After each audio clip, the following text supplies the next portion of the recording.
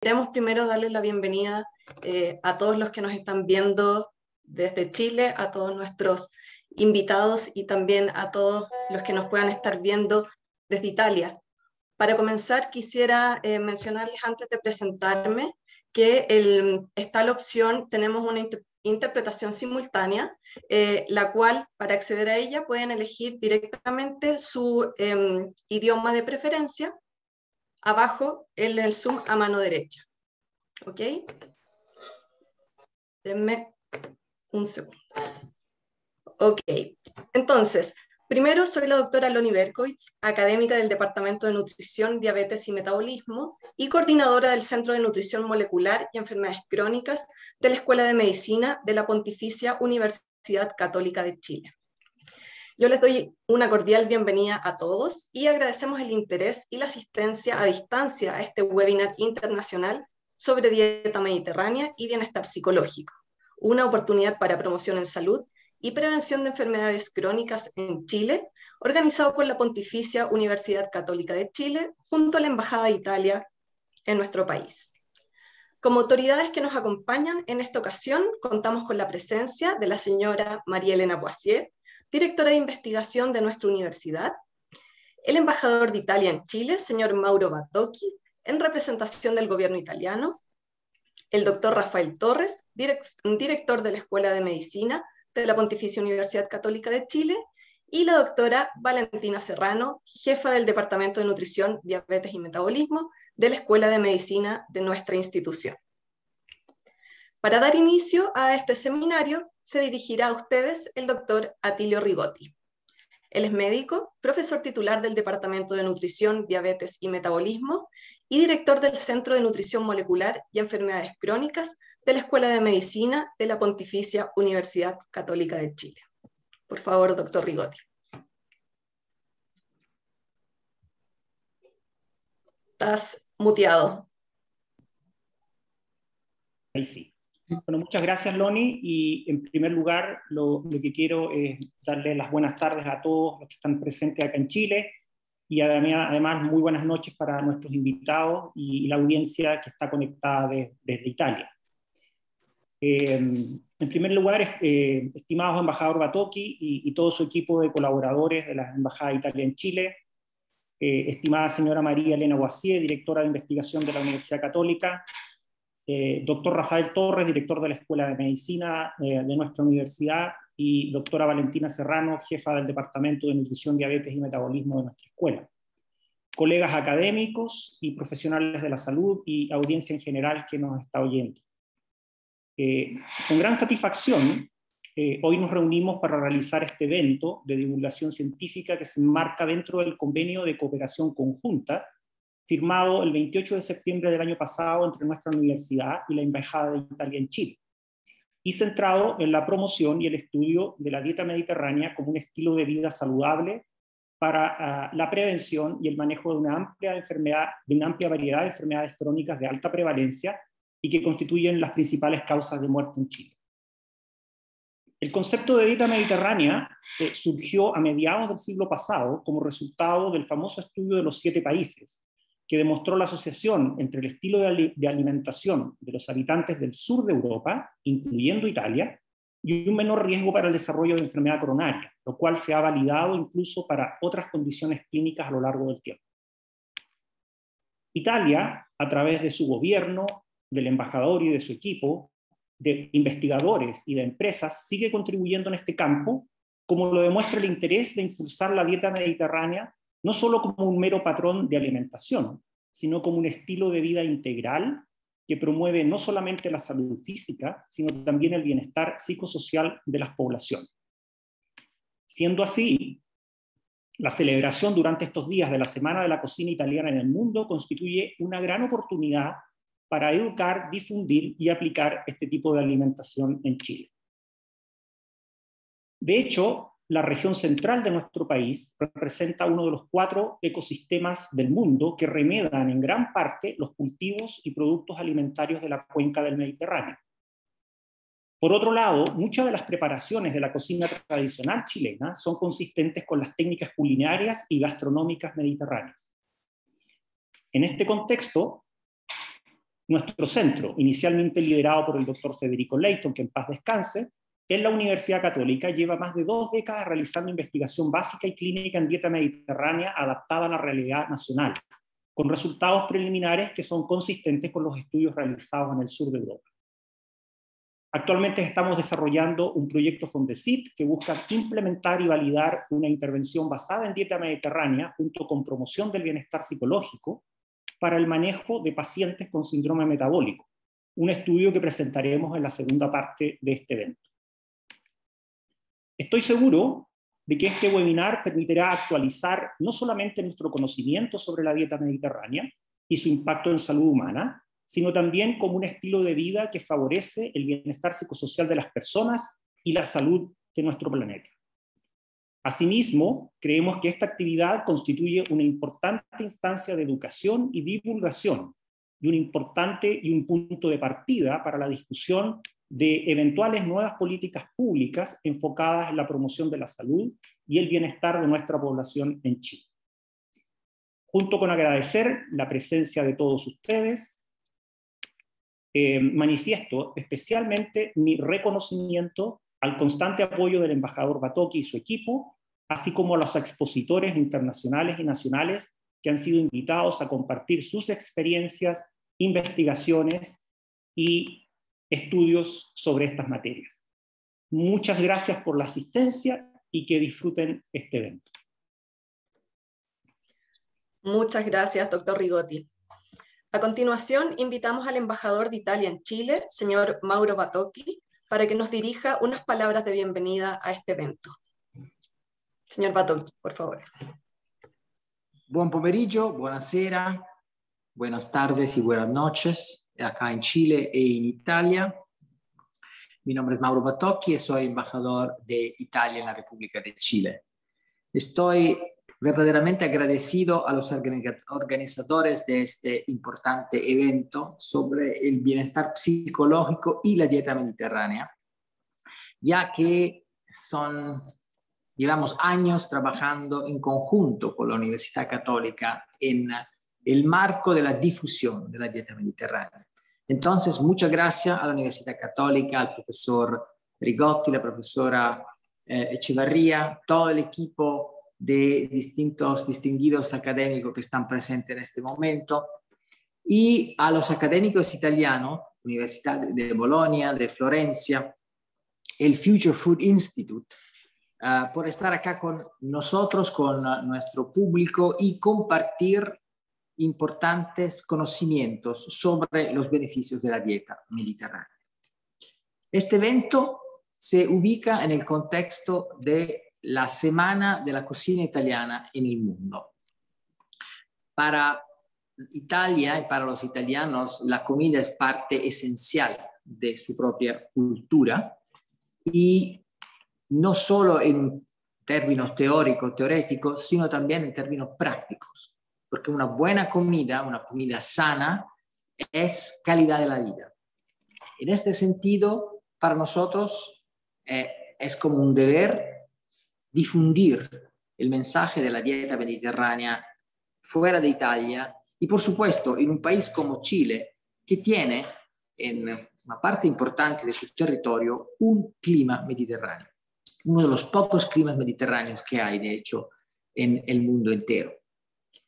Eh, la dieta mediterránea, como le están a explicar hoy nuestros expertos, aporta calidad de la vida en el sentido de que aporta una importante contribución a la salud. Eh, si cada uno de nosotros conociera bien el significado de la pirámide alimenticia conectada con la dieta mediterránea, se daría cuenta de lo importante que es poder comer de manera moderada eh, todo tipo de alimentos saludables eh, en dosis bien, bien, eh, eh, eh, bien medidas, de manera que se pueda pasar de un sentido generalizado de comer para sobrevivir a comer para tener un bienestar, bienestar físico y eso es la parte más importante de la conversación de hoy, un bienestar psicológico. La pandemia nos ha presentado con un tema importante de depresión para muchas personas que se han quedado en casa durante meses, casi años.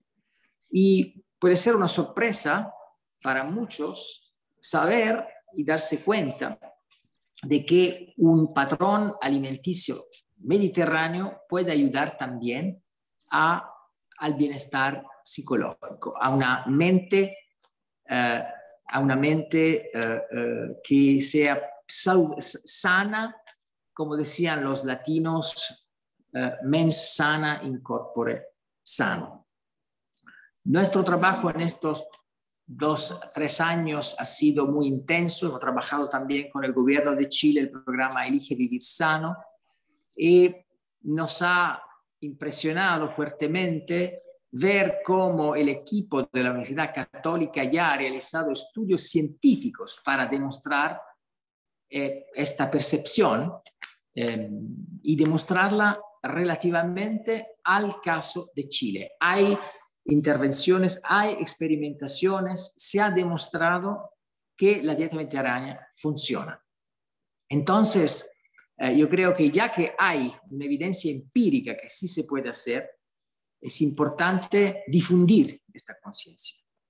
Pues el convenio, la charla, el webinar de hoy es sumamente importante y vuelvo a agradecerles a todas las organizaciones presentes hoy, a los académicos eh, que están en Italia y ahora es eh, bastante tarde en nuestro país eh, europeo.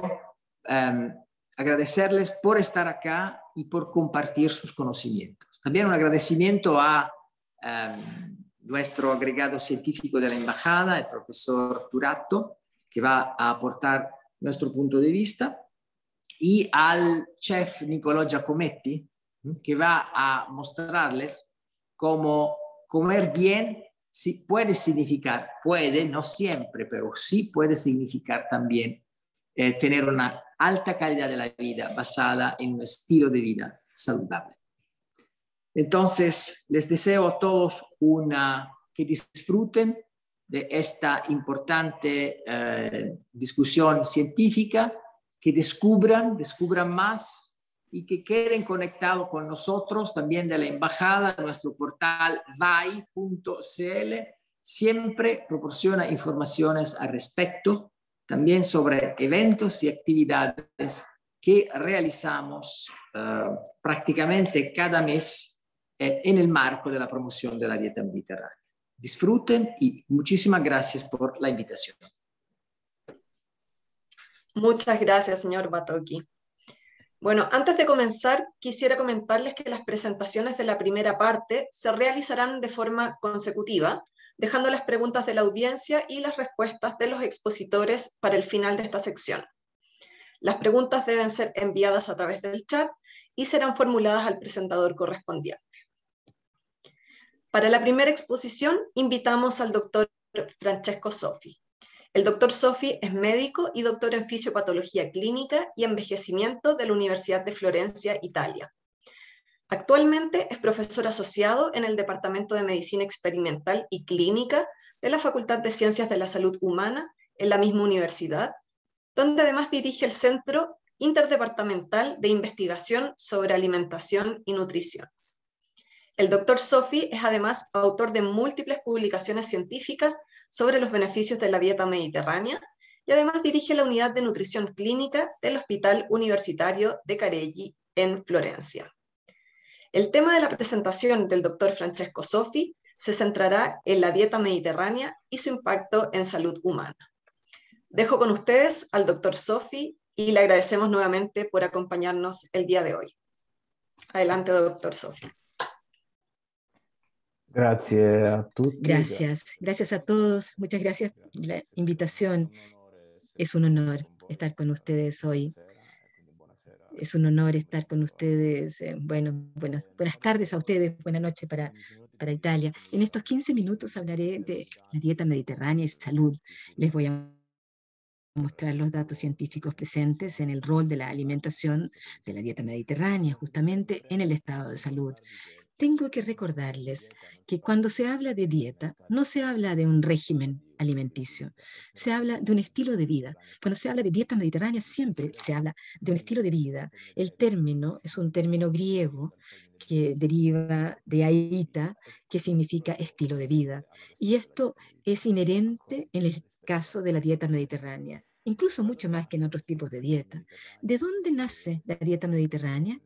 Junto al estilo de vida y salud, nace del estudio de las siete naciones. Se habló de él, el primer estudio epidemiológico que ha demostrado una relación entre la, la alimentación y el estilo de vida y las patologías neoplásticas y vasculares. Este estudio de los 60 evaluó 12.000 personas eh, en 16 cortes en 7 países y por primera vez demuestra que de las costumbres alimentarias había una relación que favorecía el estilo de vida y el estado de salud en, términos de prevención de las enfermedades cardiovasculares comparado con otros países. Este estudio marcó una historia en la epidemiología de la medicina porque era un estudio epidemiológico, el primero, que mostraba la relación entre alimentación y salud. estas son fotos históricas que me dio el profesor Mancini, este médico joven que hacía visitas en esa oportunidad. Este es un pueblecito en el sur de Italia, en el año 57, y ahí mostraba cómo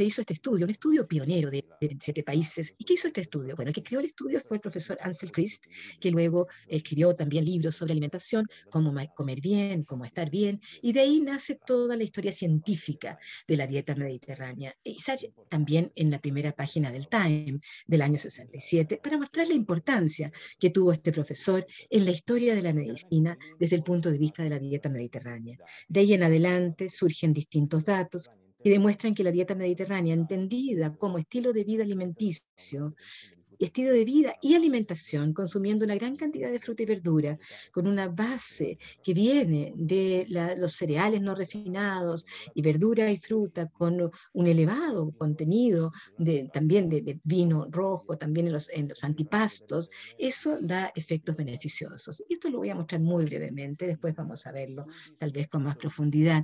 Aquí vamos a ver un estudio sobre factores de riesgo, estudio de factor de riesgo sobre el tema del peso.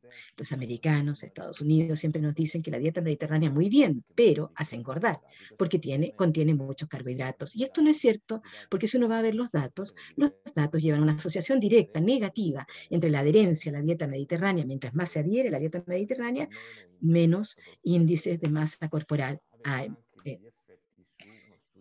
Y también hay un efecto en el estudio de intervención, un estudio de dos años, en 233 sujetos obesos, donde se les administraban tres tipos de dietas. Esta dieta con bajo contenido de carbohidratos y esta, eh, la dieta mediterránea, y la otra con baja contenido de grasas. Aquí hay un claro, una, una pérdida, una baja de peso, un efecto positivo en la baja de peso y la dieta mediterránea junta además otros beneficios desde el quinto mes para adelante, ya no hay diferencias. Y la dieta mediterránea es la única que también impacta en los otros parámetros de riesgo como el colesterol de L. Por lo tanto, es más sana que una alimentación con bajo contenido de carbohidratos o bajo contenido de grasa solamente. Pero no solamente este estudio, hay estudios de hace cuatro años atrás en comparación entre dieta mediterránea y dieta vegetariana, o sea, sin contenido de carne ni, ni pescado. La dieta mediterránea comparada con la vegetariana tiene la misma eficacia en la pérdida de peso, es hipocalórica, con restricción calórica, pero tiene mayor efecto en los parámetros como triglicéridos, o sea, grasa en la sangre, y otros parámetros, como los mostramos acá. Pero no es solamente esto, este no es el único efecto positivo de la dieta mediterránea. También hay efectos sobre los resultados clínicos, sobre los outcomes clínicos. Les voy a mostrar algunos datos para poder entender la complejidad de la literatura científica en la dieta mediterránea. Siempre muestro esta diapositiva, muestro esta slide sobre este cielo estrellado, donde hay estrellas pequeñas que son los estudios primarios, que tenemos muchísimos. Voy a mostrarles algunos datos sobre estudios de cohorte. Ven aquí la gran cantidad de datos, de gran cantidad de literatura sobre dieta mediterránea en una serie de patologías que pueden ser principalmente cardiovasculares, pero también neoplásicas.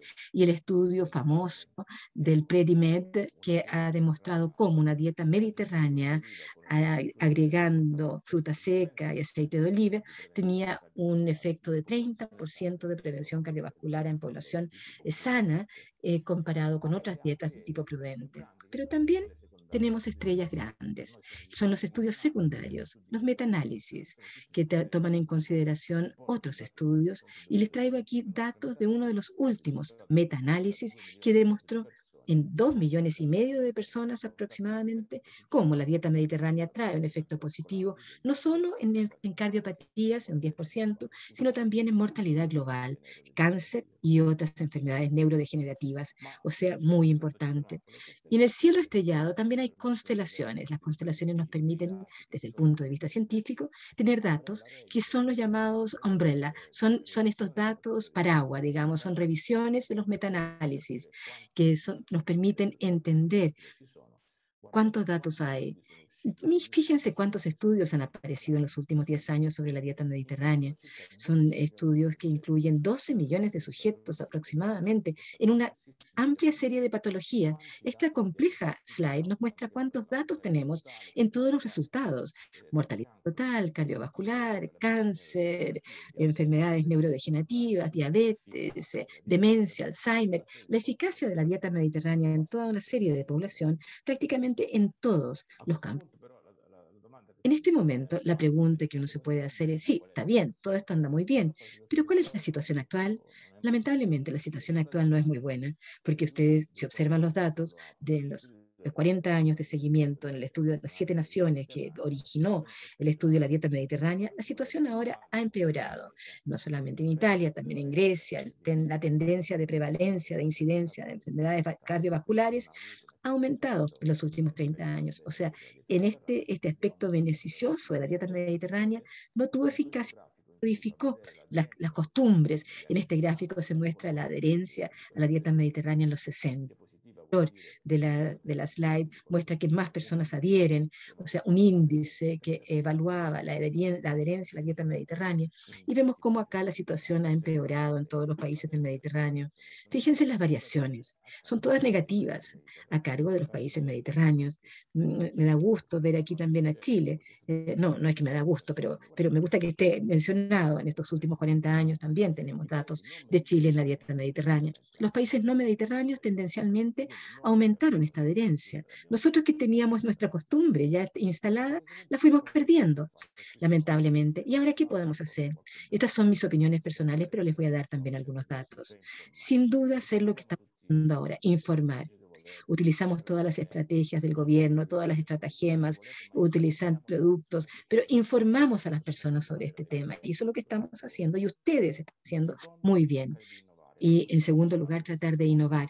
No podemos solo hablar, como lo hacíamos hace 40 años atrás, también usar estratagemas de innovación informáticas. Estamos tratando de hacerlo, por ejemplo, aquí estos últimos 10 años estamos apuntando mucho a tratar de implementar este, este puntaje de adherencia a la dieta mediterránea que se creó en los últimos 10 años en base a metaanálisis, que proviene de la literatura, de datos reales. Eh. Y aquí, si yo consumo 150 gramos de fruta, eh, tengo estas relaciones con los demás productos y tenemos las distintas cantidades. Lo evaluamos lo evaluamos y principalmente lo exportamos. Lo exportamos a una database, a una database, un, sitio web, un sitio web italiano completamente gratuito, completamente disponible para tratar de mostrar este escenario que hemos creado eh, sin ningún tipo de interés comercial, solamente lo creamos nosotros. Donde hay algunas preguntas, se responden las preguntas y en base a eso se obtiene un puntaje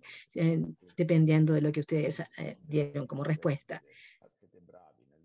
y les dice sí, han adherido a la dieta mediterránea o no, no, no, fueron, no lo hicieron bien en la dieta mediterránea. Esto ha tenido algunos efectos. En los últimos datos de la literatura se demuestra que aproximadamente en 200 pacientes nuestros, este puntaje determinó un riesgo mayor o menor en, en términos eh, de la, del peso corporal eh, y obesidad. Acá tenemos eh, los distintos niveles que después de la dieta mediterránea podemos ver las variaciones y este debería ser un instrumento que nos permitiría eh, desarrollar e implementar la dieta mediterránea. Y no por último, aquí hay que establecer las prioridades. Esto es muy importante, entender cuáles son nuestras prioridades.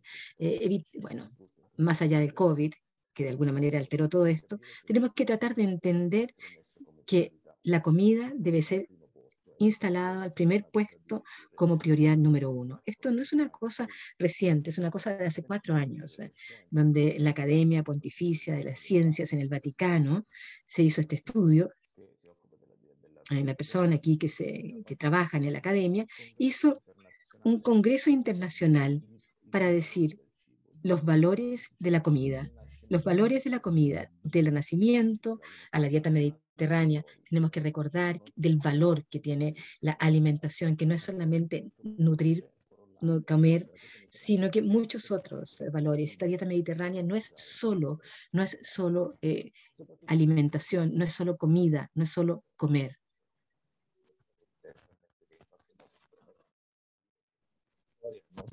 Yo he perdido sonido. Aquí no estamos descubriendo nada, solamente estamos mostrando los datos que tenemos. Los llevo ahora a los datos que veíamos anteriormente de la dieta mediterránea. Aquí eh, pasta, poroto, grandes cantidades de, fruta fresca y vegetales eh, y una porción pequeña de carne Lamentablemente hay otro micrófono prendido que está haciendo interferencia. Y termino con algo que podría ser una, buena conclusión, la dieta mediterránea y la cultura.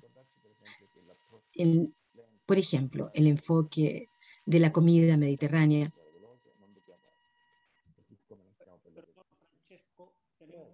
Fondo, eh, no sé, ¿podemos seguir ahora? ¿Ahora? Sí, adelante. Sí, ¿me sentite? Sí, sí, ahora sí, estamos mejor. ¿Me escuchan ahora? Sí, sí. Yo no hice nada, yo me quedé tranquilito, no hice nada. Entonces, estoy terminando. La la globalización, la regionalización, productos locales versus productos globalizados.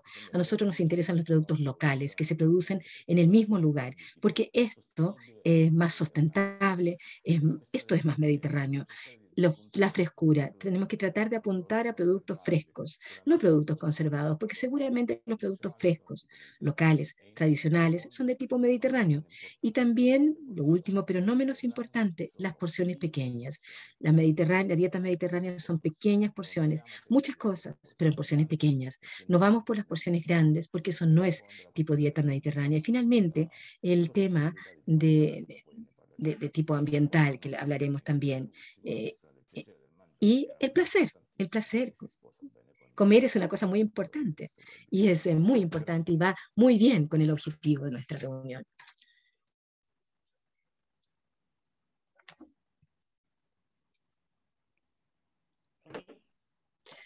Muchas gracias, doctor Sofi, por su interesante presentación. Les recuerdo que las preguntas deben ser enviadas a través de la sección de preguntas y respuestas y serán formuladas al final de la primera parte de este webinar. Para la segunda exposición invitamos a la profesora Chiara Ruini. La doctora Ruini es psicóloga y doctora en Psicología General y Clínica de la Universidad de Bolonia, Italia. Actualmente es staff clínico y profesora asociada de Psicología Clínica en el Departamento de Psicología de esta universidad. La doctora Ruini ha dedicado su carrera al estudio del bienestar psicológico, especialmente en el contexto clínico, participando en el diseño e implementación de psicoterapia, así como de intervenciones comunitarias basadas en el bienestar. La presentación de la profesora Ruini se centrará en la temática del estilo de vida mediterráneo, bienestar psicológico y salud humana. Dejo con ustedes a la doctora Ruini. Muchas gracias por su participación. Gracias a voi per Gracias Gracias a ustedes, gracias por invitarme a esta iniciativa. Gracias, doctor Rigotti, a todos. Y también agradezco al profesor Sofi, que de alguna manera eh, puso eh, la conexión, hizo, hizo, hizo la base para continuar hablando de esta parte tan importante que es la cultura, el placer, la especificidad, eh, y esta tarde voy a tratar de juntar un poco la descripción de lo que es bienestar, bienestar psicológico, desde el punto de vista principalmente de la psicología positiva, cómo se conecta con las temáticas del estilo de vida y de la dieta, estilo de vida en general, estilo de vida mediterráneo, con los puntos de contacto. Y luego terminaré mi presentación brevemente con lo que fue nuestra intervención de promoción de bienestar psicológico que como matriz, como matriz para, para el proyecto de investigación que está llevando a cabo el profesor Rigotti, que se va a presentar en la segunda parte de este webinar. Ahora, el estilo de vida, en realidad, el estilo de vida mediterráneo, como, se decía, como presentó tan claramente mi colega eh, que precedió la, la presentación, no solamente es juntar una pirámide de alimentos, no es solamente armar la pirámide de distintos alimentos, sino también tener un interés y tener una especialización en la elección, en el cuidado, en la selección de algunos tipos de alimentos y también en la preparación de las comidas con un conocimiento, con una expertise, con, con, este conocimiento culinario que luego lo veremos con el chef, que probablemente nos va a ilustrar con mucha más claridad de qué se trata esta expertise. Pero como decíamos antes, el estilo de vida mediterráneo implica también el tiempo, tiempo para degustar la comida, slow food, como decíamos, compartir la comida, la imagen de la familia, la familia que se reúne en una mesa, las relaciones que se tejen alrededor de la comida en esa mesa y la valoración de, la comida, de los gustos, como un valor, no solamente un valor de nutrición, sino también nutrición de, la convivencia, nutrición de la socialización, nutrición del alma, al fin de cuentas. La dieta mediterránea, como decíamos antes, es la dieta que ha tenido el mejor puntaje en el mundo en términos de salud, salud física, como decíamos antes, como decía el profesor Sofi, pero también salud mental, que es justamente eh, de lo cual yo les voy a hablar. El enfoque que comparto y que compartimos con los profesores eh, Bigotti y su grupo de investigación es psicología positiva. Como el término lo dice, es eh, un tipo de intervención, es una beta de investigación bastante nueva, ya no tan nueva porque tiene más de 20 años, pero sí focalizado en experiencias positivas, aspectos de la personalidad, aspectos del carácter, aspecto positivo del carácter, relaciones interpersonales positivas, la socialización, la política positiva que favorece la construcción de la positividad para los individuos, para los grupos, para las comunidades y también a nivel global. Esto es eh, un poco esto es un poco, como decía, el marco teórico de referencia de la presentación y la información que voy a compartir con ustedes esta tarde. En este marco teórico de psicología positiva, el bienestar, la felicidad, la positividad, vienen conceptualizados en distintas maneras. El hedónico, el bienestar hedónico, el chocolatito es un buen representante de ello, y todo lo que es el placer, ¿no? el placer en el sentido epicúreo también del término, que está conectado claramente con la comida, con comer bien, con, con, el, con la degustación, como decíamos antes, y luego lo que es el bienestar eudomónico, el bienestar psicológico o el bienestar aristotélico, que es un poco un poco este también, ¿no? Este también tiene un marco cultural, conceptual, eh, típicamente mediterráneo, la filosofía griega y romana, y sustancialmente implica el bienestar como un recorrido personal, un camino individual, personal durante la vida, un camino de crecimiento, de cambio en el sentido positivo. Y se conecta muy bien con el discurso de los estilos de vida, del cual también se deriva una vida positiva. En cuanto al bienestar hedónico, sustancialmente la psicología positiva ha estudiado en modo científico también mencionaremos esta tarde para contar que todos los metaanálisis y todas las reseñas de literatura existen. No las vamos a decir una a una, pero sí diremos que lo que nos dice la psicotología positiva es que las nociones positivas, las emociones positivas, tienen un rol fundamental para nuestra salud física y mental, porque sustancialmente tienen justamente la capacidad de ampliar nuestra capacidad perceptiva y cognitiva, de extender, de ampliar nuestra perspectiva, nuestra perspectiva de vida y pueden ser un antídoto en relación al efecto negativo de nivel fisiológico también de las emociones negativas. Sustancialmente un estado ansioso, un estado depresivo, desde el punto de vista fisiológico, conlleva una serie de modificaciones hormonales y de parámetros neurofisiológicos en general. Y las emociones positivas pueden contrastar estos efectos negativos como antídoto justamente como antídoto, pero también son los ingredientes de la resiliencia psicológica y física. Y en el curso del tiempo, dependiendo del modelo o dependiendo del modelo, de acuerdo al modelo de Bárbara Friedrich de psicología positiva, las emociones positivas acumuladas en el tiempo construyen justamente los ingredientes principales de la resiliencia y de los recursos personales. Entonces, en una conferencia reciente de psicología positiva, uno de los principales autores, Barbara Fredrickson, dijo justamente, ha considerado la presencia de emociones positivas como nutrientes, como vitaminas, como vitaminas para nuestro bienestar físico y mental. Es importante entonces nutrirse, cultivar las emociones positivas, nutrirse de ellas, también a través de experiencias eh, placenteras como la comida, como el almuerzo, la cena, para cultivar el bienestar físico y mental. Entonces, sustancialmente, una primera conexión importante entre lo que es la calidad de vida, el bienestar y también en la dieta mediterránea, el estilo de vida mediterráneo, justamente la presencia de emociones positivas. Es un modo para cultivar las emociones positivas.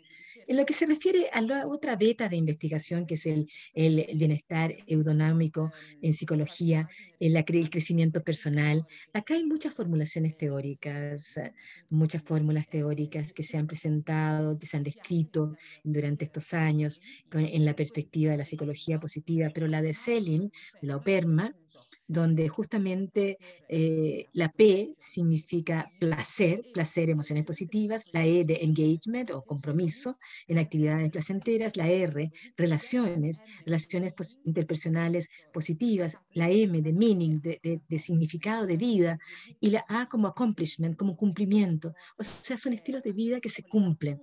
Y esto, el PERMA, ha conectado muy bien el estilo de vida saludable. Y el otro modelo, el otro modelo eh, de bienestar eudonómico, psicológico, que nosotros utilizamos en la intervención y que va a describir el profesor Rigotti, es aquel desarrollado por nuestra colega y amiga Carol Reef de Estados Unidos, donde sustancialmente seis dimensiones. Es como una torta con seis ingredientes de bienestar, que son justamente estos ingredientes, el, propósito de vida, de, gestión ambiental, de poder gestionar la propia eh, estilo de vida, en las relaciones positivas, la autonomía de las elecciones personales, el crecimiento personal de mejoramiento continuo en el tiempo y un, un sentido de autoestima positiva, autoaceptación.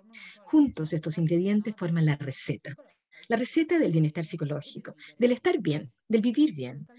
Y sustancialmente me vino una propuesta de hacer un paralelo entre los ingredientes de bienestar y el estilo de vida mediterráneo, vale decir, el sentido de excelencia, de la calidad, de la especificidad de los elementos, es una sensación de crecimiento personal y de mejoramiento. El expertise en la preparación de la comida, en el cuidado de los detalles, de la cocina, es también un sentido de, de ser dueño de la gestión de la comida. La degustación se conecta con la capacidad de cultivar las emociones positivas y el compartir de las comidas es una manera de ampliar las relaciones interpersonales y justamente es lo que decía también el profesor Sofi, es justamente una prioridad, prioridad de la elección de la comida, de la valorización de las comidas y los alimentos como valor, como una virtud a cultivar dentro de un bienestar colectivo. Hay un paralelismo entonces entre lo que son los ingredientes del bienestar psicológico y los ingredientes del estilo de vida mediterráneo. Fundamentalmente, de acuerdo a nuestra colega Carol Reeve, estas seis dimensiones, estos ingredientes de bienestar psicológico, están muy correlacionados uno con el otro y pueden estar presentes en una forma diferente, pero en perfiles individuales de bienestar.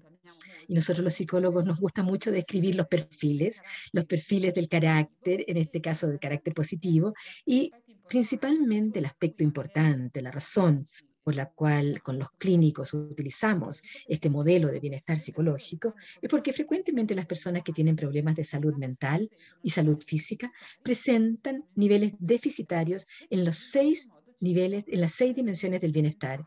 Y se han mostrado, se han mostrado factores de riesgo justamente para salud física y para salud mental, dado los niveles bajos de estos seis eh, niveles de bienestar psicológico, o sea, la ausencia de dimensión positiva, la ausencia de emoción positiva para, como factor de riesgo para enfermedades mentales y físicas. Y esos factores de riesgo los podemos conectar con lo que habló mi colega anteriormente. Por eso es tan importante hablar de bienestar psicológico, porque es una de las componentes de la condición de salud y porque es principalmente porque estas seis dimensiones de bienestar psicológico están asociadas a un sentido de motivación interna, intrínseca, a estar bien, a hacerlo bien, a cuidarse y cuidar también el ambiente de la vida. Un aspecto importante, un poco para concluir esta presentación, es eh, mostrarles en los estudios, en base a los estudios que hemos realizado, cómo las seis dimensiones del bienestar psicológico son particularmente comprometidas, están particularmente comprometidas en personas que tienen problemas alimentarios y cómo podemos intervenir sobre estos niveles de bienestar psicológico justamente a través de las intervenciones psicosociales específicas y bastante simples, intervenciones bastante simples. Entonces, el, eh, el concepto de autonomía y de trabajo como componentes de la salud. La salud entendida como bienestar físico y bienestar psicológico y bienestar social. Estos tres ingredientes son los ingredientes que corresponden a los puntos de contacto con los estilos de vida saludables y que es importante cultivar principalmente desde el punto de vista de las intervenciones, como las intervenciones que realiza el profesor Rigotti y su staff. Otras eh, otras definiciones de bienestar, de salud, muestran, iluminan la importancia de promover una sensación de realización personal, de logro, de los, de, los objetivos de vida, de estrategia de coping, de gestión del estrés en forma positiva y también de productividad en la comunidad. El estilo de vida mediterráneo en esto ofrece un camino principal, ofrece un, camino útil, de, útil que se puede proponer también a otras naciones que no tienen este tipo de enfoque porque sustancialmente el estilo de vida, como decía antes, no es solamente elegir el la comida, es dedicarle tiempo, dedicarle tiempo a la salud, a lo que es la salud física y también la salud social, eh, relacional, pasar tiempo con la familia, con los amigos, este estilo de vida más relajado, eh, la, actividad física, el moverse, el usar más la bicicleta, no, no tener eh, estas, estas grandes eh, carreteras como las que tenemos en Estados Unidos, sino que moverse más también en bicicleta, caminar, porque justamente esto, la literatura lo indica, la literatura ah, psicológica está llena de este tipo de y nos dice justamente eso. Y las últimas reflexiones, para no robarles todo el tiempo, es... Eh, mostrar esta serie de estudios que que muestran cómo algunas características psicológicas positivas como el optimismo, bienestar, eh, felicidad y sentido de autoestima están conectadas. Están conectadas en un modo indirecto también con la salud física y con los estilos de vida positivos, porque sustancialmente los niveles de bienestar psicológicos más elevados se relacionan con un mayor sentido de autoeficacia, de control sobre sí mismo, de control sobre las propias opciones y las propias acciones, que luego llevan a comportamientos y a cuidado de la propia salud. Y es justamente la actividad física, la dieta, la adherencia a las prescripciones médicas y todo esto lleva a una disminución de los factores de riesgo y una mejoría de la salud física. Sustancialmente, el compromiso de los, de los niveles deficitarios de bienestar, eh, hay también una presencia de patologías, más patologías en el ámbito nutricional también. Esta es una reseña bibliográfica que hicimos hace algunos años atrás, donde vimos cómo el compromiso del bienestar económico en las seis dimensiones, esa torta que les mostré antes, esas seis dimensiones, eh, está estrechamente correlacionado en una forma bastante directa, eh, estadísticamente hablando, con la presencia de depresión, ansiedad y trastornos alimentarios. Y en particular, resumo muy rápidamente lo que hemos visto en esta reseña de literatura, y que los pacientes, hemos visto que los pacientes con bulimia o con, eh, eh, trastornos alimenticios tipo binge tienen un desorden sistemático en todas las dimensiones del bienestar psicológico. Y también tienen menos probabilidades de ser categorizados dentro de grupos, población con salud mental óptima. Este es el concepto de flourishing que también apareció interior, en el interior de la literatura de la psicología positiva. Y además hay correlaciones negativas, inversas, entre la presencia de un trastorno de la alimentación y los niveles de bienestar psicológico. Además, varios estudios sobre individuos eh, obesos han evidenciado menores niveles de bienestar social y de relaciones eh, interpersonales positivas por el estigma social.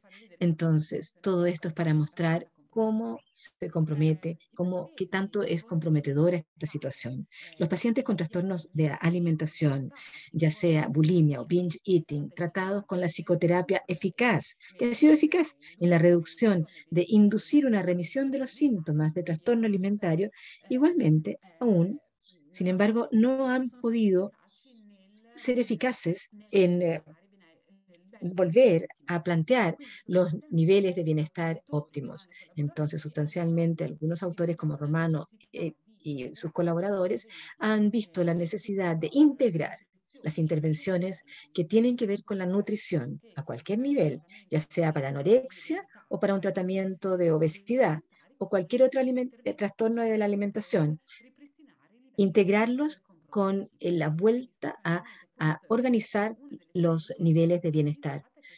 Una de las estrategias que puede ser esta intervención, la intervención que desarrollamos eh, en colaboración con la profesora Carol Reef, donde es una intervención grupal con ocho sesiones, donde se tratan las seis dimensiones de bienestar. Se discuten una a una, se discuten con distintas actividades semanales y hemos logrado con esto determinar un incremento en las seis dimensiones de bienestar psicológico, como lo pueden ver acá a la derecha de la pantalla. Y en un segundo estudio, en, el cual hicimos un seguimiento a seis meses, pueden ver que los niveles de bienestar psicológico mejoran y se mantienen en el tiempo, mientras que los niveles de depresión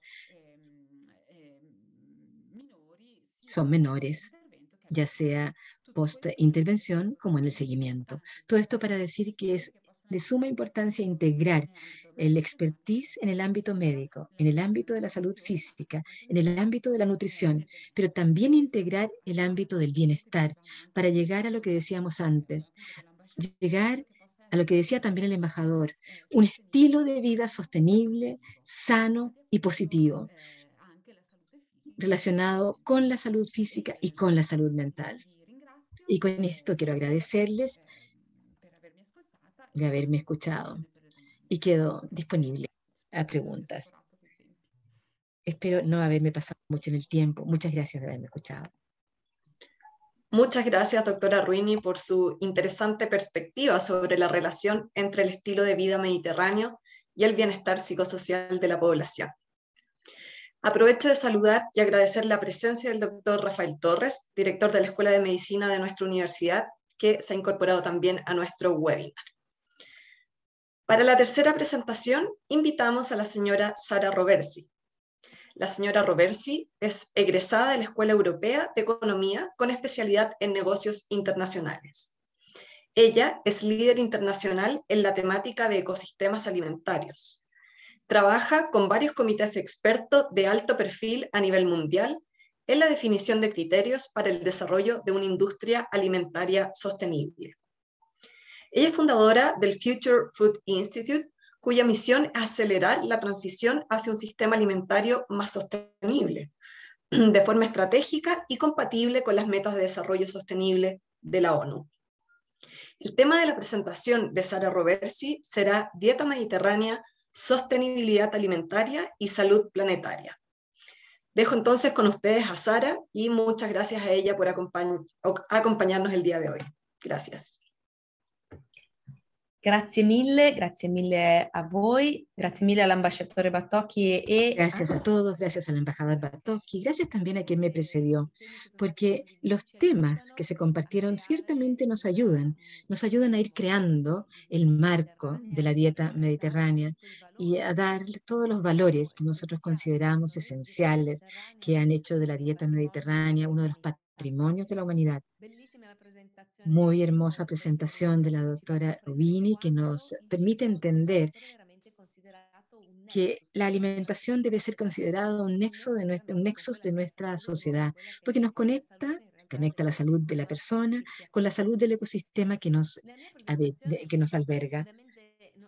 Mi presentación voy a tratar de no repetir muchas cosas que ya se dijeron y se explicaron tan claramente y ampliamente por quienes me precedieron, pero quisiera detenerme en una reflexión, mostrando por qué la dieta mediterránea llegó a ser un instrumento tan eficaz para dirigir, dirigir las opciones de estilo de vida y lograr equilibrar lo que está bien para la persona con lo que está bien para el planeta. Partamos por entender cómo concebimos el alimento, qué es food. Es un instrumento potente que tenemos en nuestras manos. El alimento, más que cualquier otro instrumento, nos permite conectarnos, conectarnos con el mundo. El alimento nos nutre, el alimento debe ser nuestra medicina, pero sobre todo quien trabaja en el alimento es quien cuida el sistema que nos alberga. El alimento representa nuestra identidad, nuestra cultura. Todas las religiones tienen conexiones con el alimento. El alimento nos une. El alimento es comunidad. El alimento es familia. El alimento es amor. El alimento es cuidado y es un instrumento para cuidarnos. Cuando hablamos de dieta mediterránea, hay tantos elementos, son muchísimos elementos que caracterizan particularmente el modo de hacer, el modo de ser mediterráneo. El alimento es un lenguaje, pero el alimento en el sector alimentario representa el mix, la mezcla de, de las grandes paradojas de nuestra época, las más grandes paradojas de nuestra época. Vivimos en un contexto donde todavía tenemos millones de personas que mueren de hambre y más personas que sufren de, perturbaciones, de, trastornos ligados a una mala nutrición o no tienen acceso a los nutrientes correctos. Hablamos de un tercio de los cambios climáticos y las emisiones eh, que se sufre el cambio climático y también es, es que, lo, que lo produce. Es un sector donde el, el, votar es una plaga, donde desechar es una plaga que debemos resolver. Ahora, cuando tomamos los, los Objetivos de Desarrollo Sostenibles, el ODS, empezamos a explorar todos los indicadores, todos los objetivos, nos damos cuenta que cuando hablamos de alimento, hablamos de un instrumento, hablamos de un sector que los conecta a todos. Entonces nos damos cuenta que tenemos un gran poder en nuestras manos. Ahora, vamos a la dieta mediterránea. ¿Por qué hoy día la consideramos como un instrumento tan fuerte En un panel eh, hoy día mismo, alguien dijo, dieta mediterránea debiera ser un programa de gobierno. Y bueno, la dieta mediterránea entendida como programa de gobierno nos haría entender eh, cuánto todo esto, considerarla un estilo de vida, podía ser en realidad eh, traducido en eh, prácticas agrícolas o en prácticas y costumbres que nos permitirían dejar espacio a los mercados, hablar, comer a kilómetro cero, comer estacional, prácticas positivas que nos harían bien para la salud y seguramente harían bien también en el impacto ambiental. Todo esto no sucede por, por, casualidad, porque la dieta mediterránea nace en un contexto geográfico extremadamente rico. Hasta esta mañana en Kazajistán hablábamos eh, con el Ministerio de Agricultura y el Ministerio de Agricultura de Kazajistán hablaba de los problemas que están enfrentando.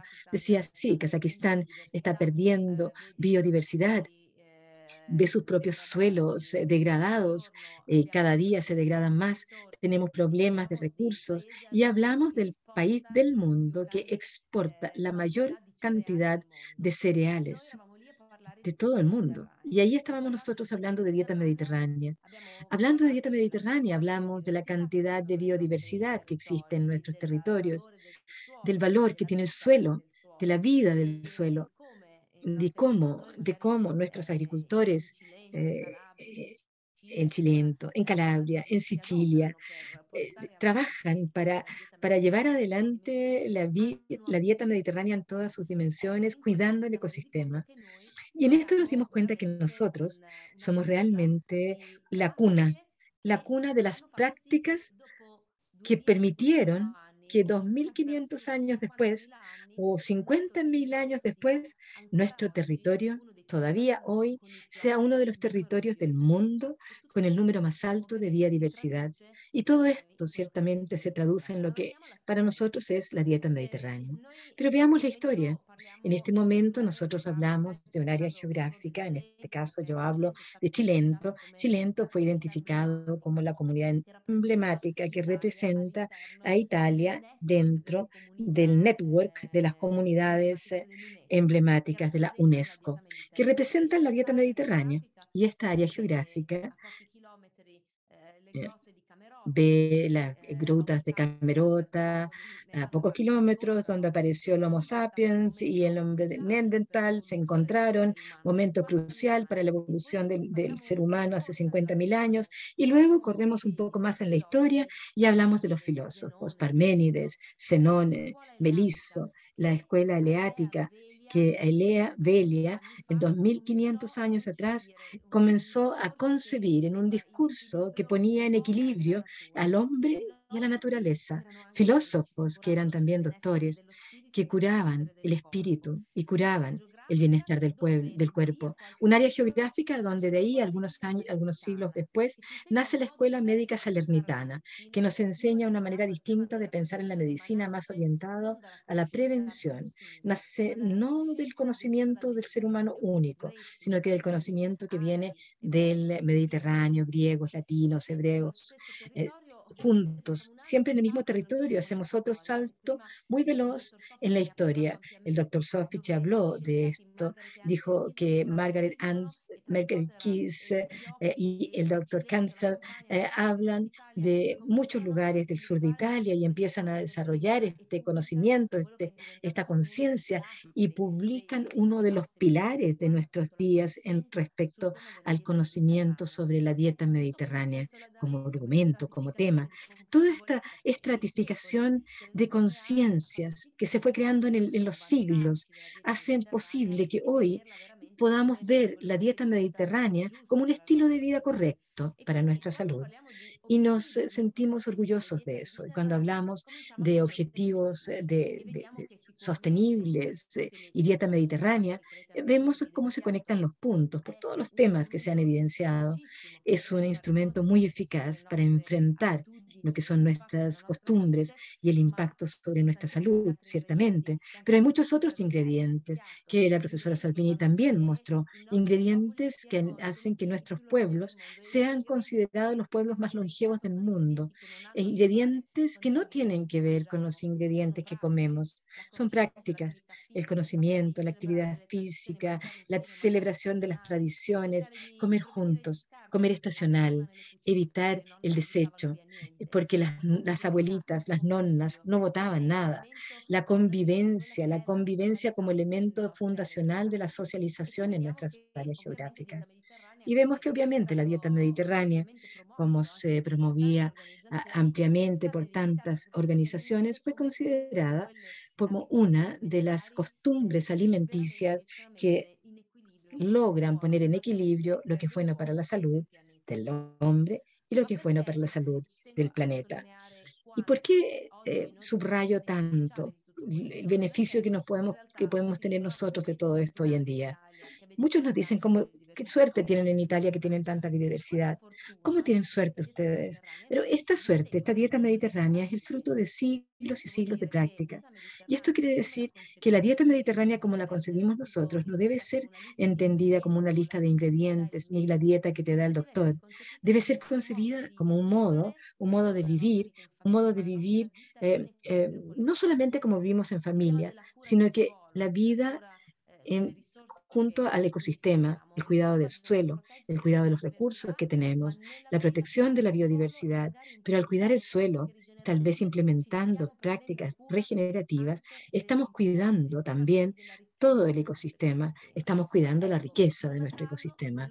Y no por casualidad, en el mismo, en el mismo lugar nació el primer biodistrito del mundo, el más alto número de agricultores bioregenerativos, el, el, parque más alto de biodiversidad. Y acá pueden ver otros números que nos permiten entender cómo adoptar buenas prácticas en, en, los siglos ha permitido llevar a esta riqueza en el territorio. Hoy la dieta mediterránea es un patrimonio de la humanidad. Obviamente nosotros lo concebimos como un alto patrimonio, pero es poco valorado, debemos decir, un patrimonio que nos permite hablar de Italia, de Italia en el mundo a través de estas prácticas loables que son hoy día prioridad. Se habla mucho de transición ecológica, pero la primera transición que debemos llevar a cabo es nuestra transición, la transición cultural. Cómo comemos, cómo nos alimentamos. Es crucial. Estamos hablando de una cuenca con una riqueza enorme, que para nosotros es un puente cultural. Entonces, el punto de fundir, de difundir la dieta mediterránea es hablar de cultura, cuando hablamos de alimentos y es algo esencial.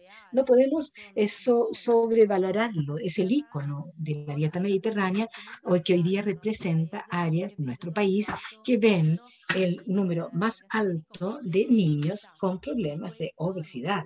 Y esta es la razón por la cual el trabajo que están haciendo es tan importante, porque lo que emerge, que la educación, la capacitación hoy en día es esencial.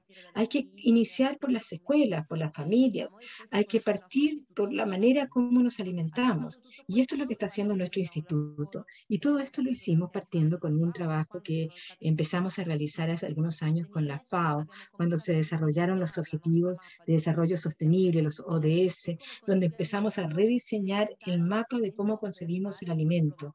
Cómo concebimos el alimento debe transformarse en un instrumento para hacer diplomacia Diplomacia que tiene que cuidar de los ciudadanos y de los ecosistemas en que ellos viven, poniendo al centro el alimento. Y poner el alimento al centro con la dieta mediterránea es el marco perfecto.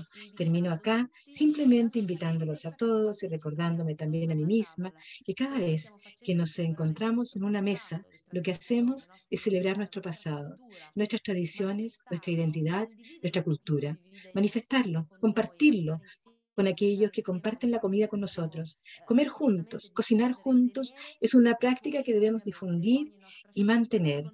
Y cada opción cada opción que hacemos, cada elección nos conecta con nuestro futuro. Por eso es tan importante reflexionar sobre aquello que comemos y compartir con las otras personas, comprometerlos a ellos a tener este mismo enfoque. Y la dieta mediterránea, sin duda, es un instrumento perfecto, porque es un caso muy práctico que nos permite demostrarlo con hechos. Y los beneficios se demuestran con hechos. Y la ciencia en esto es fundamental.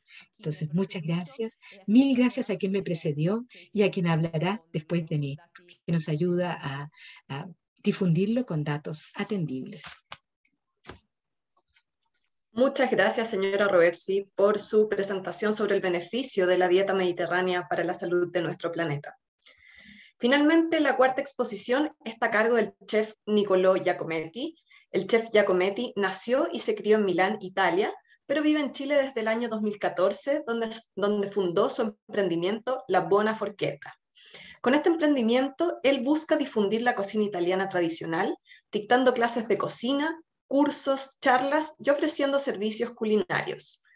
Nicolò colabora frecuentemente con la Embajada de Italia, el Instituto Italiano de Cultura en Santiago y varias otras instituciones. El día de hoy, el chef Giacometti nos hablará sobre la relevancia de la gastronomía en la dieta mediterránea. Adelante, chef Nicolò. Buenas tardes a todos y todas. Bueno, estoy algo atemorizado para todo lo, lo académico que, que, hablaron antes, pero no podía eh, no estar una parte más gastronómica en un webinar que, que habla de, de, dieta mediterránea, así que les voy eh, mostrando un poco mi visión de la, de la cocina italiana y la gastronomía. ¿Se ve? Sí, se ve bien. Perfecto. Entonces, mi trabajo en Chile es un poco con el desafío de difundir la, la, la, la dieta mediterránea y la cultura gastronómica italiana. Mm, empiezo esa presentación solo mostrándole una de las bases de la cocina italiana, el libro La scienza in cucina e l'arte di mangiar bene, que es un libro publicado en 1891 por, por Pellegrino Ortusi que recopiló varias uh, de las recetas tradicionales uh, italianas y básicamente es la Biblia de, de, de, la cocina italiana moderna. A partir de esto, se, se, la cocina italiana ya existía hace tiempo, pero a partir de eso se, fundó la, cocina italiana moderna como la conocemos hoy día. Algunas notas sobre la cocina italiana. Bueno, la cocina italiana se, se desarrolla, como le estaba diciendo, a través de los siglos nace de la cocina de los pueblos originarios que, que, existían en la península italiana. No solamente eso, es muy diferenciada y hay mucha, como decía la panelista anterior, es muy diferenciada. Cada región tiene platos típicos y, si, no, si se mueven de 60 kilómetros de una ciudad a otra, de una región a otra. El, um, la diferencia en producto, en platos es grandísima. ¿no?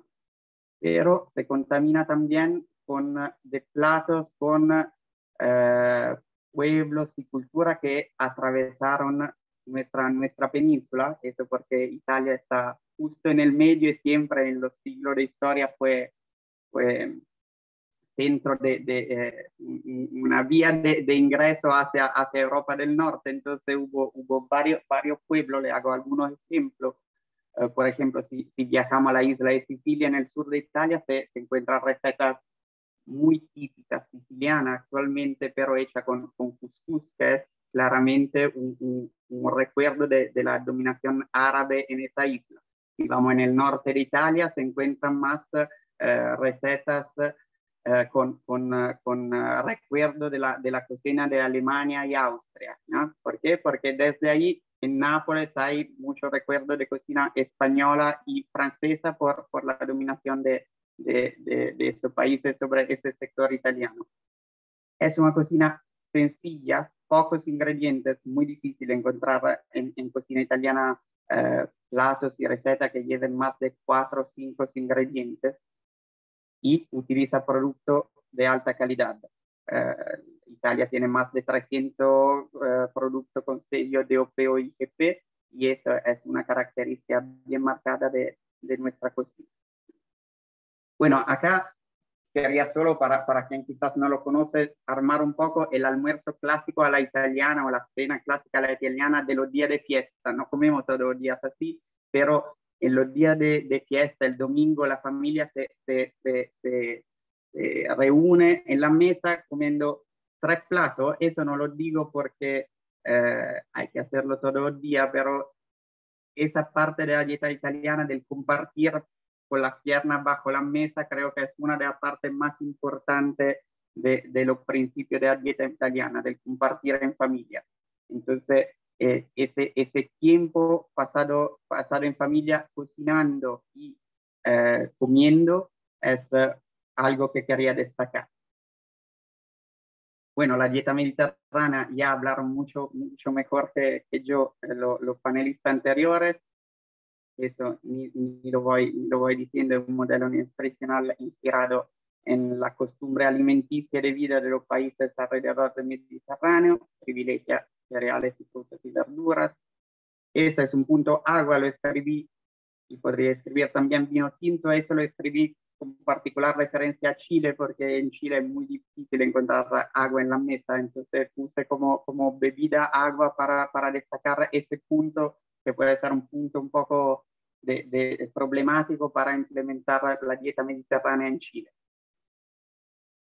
y utiliza el aceite de oliva extra virgen como grasa principal para, para su cocina. Dieta mediterránea, patrimonio de la humanidad.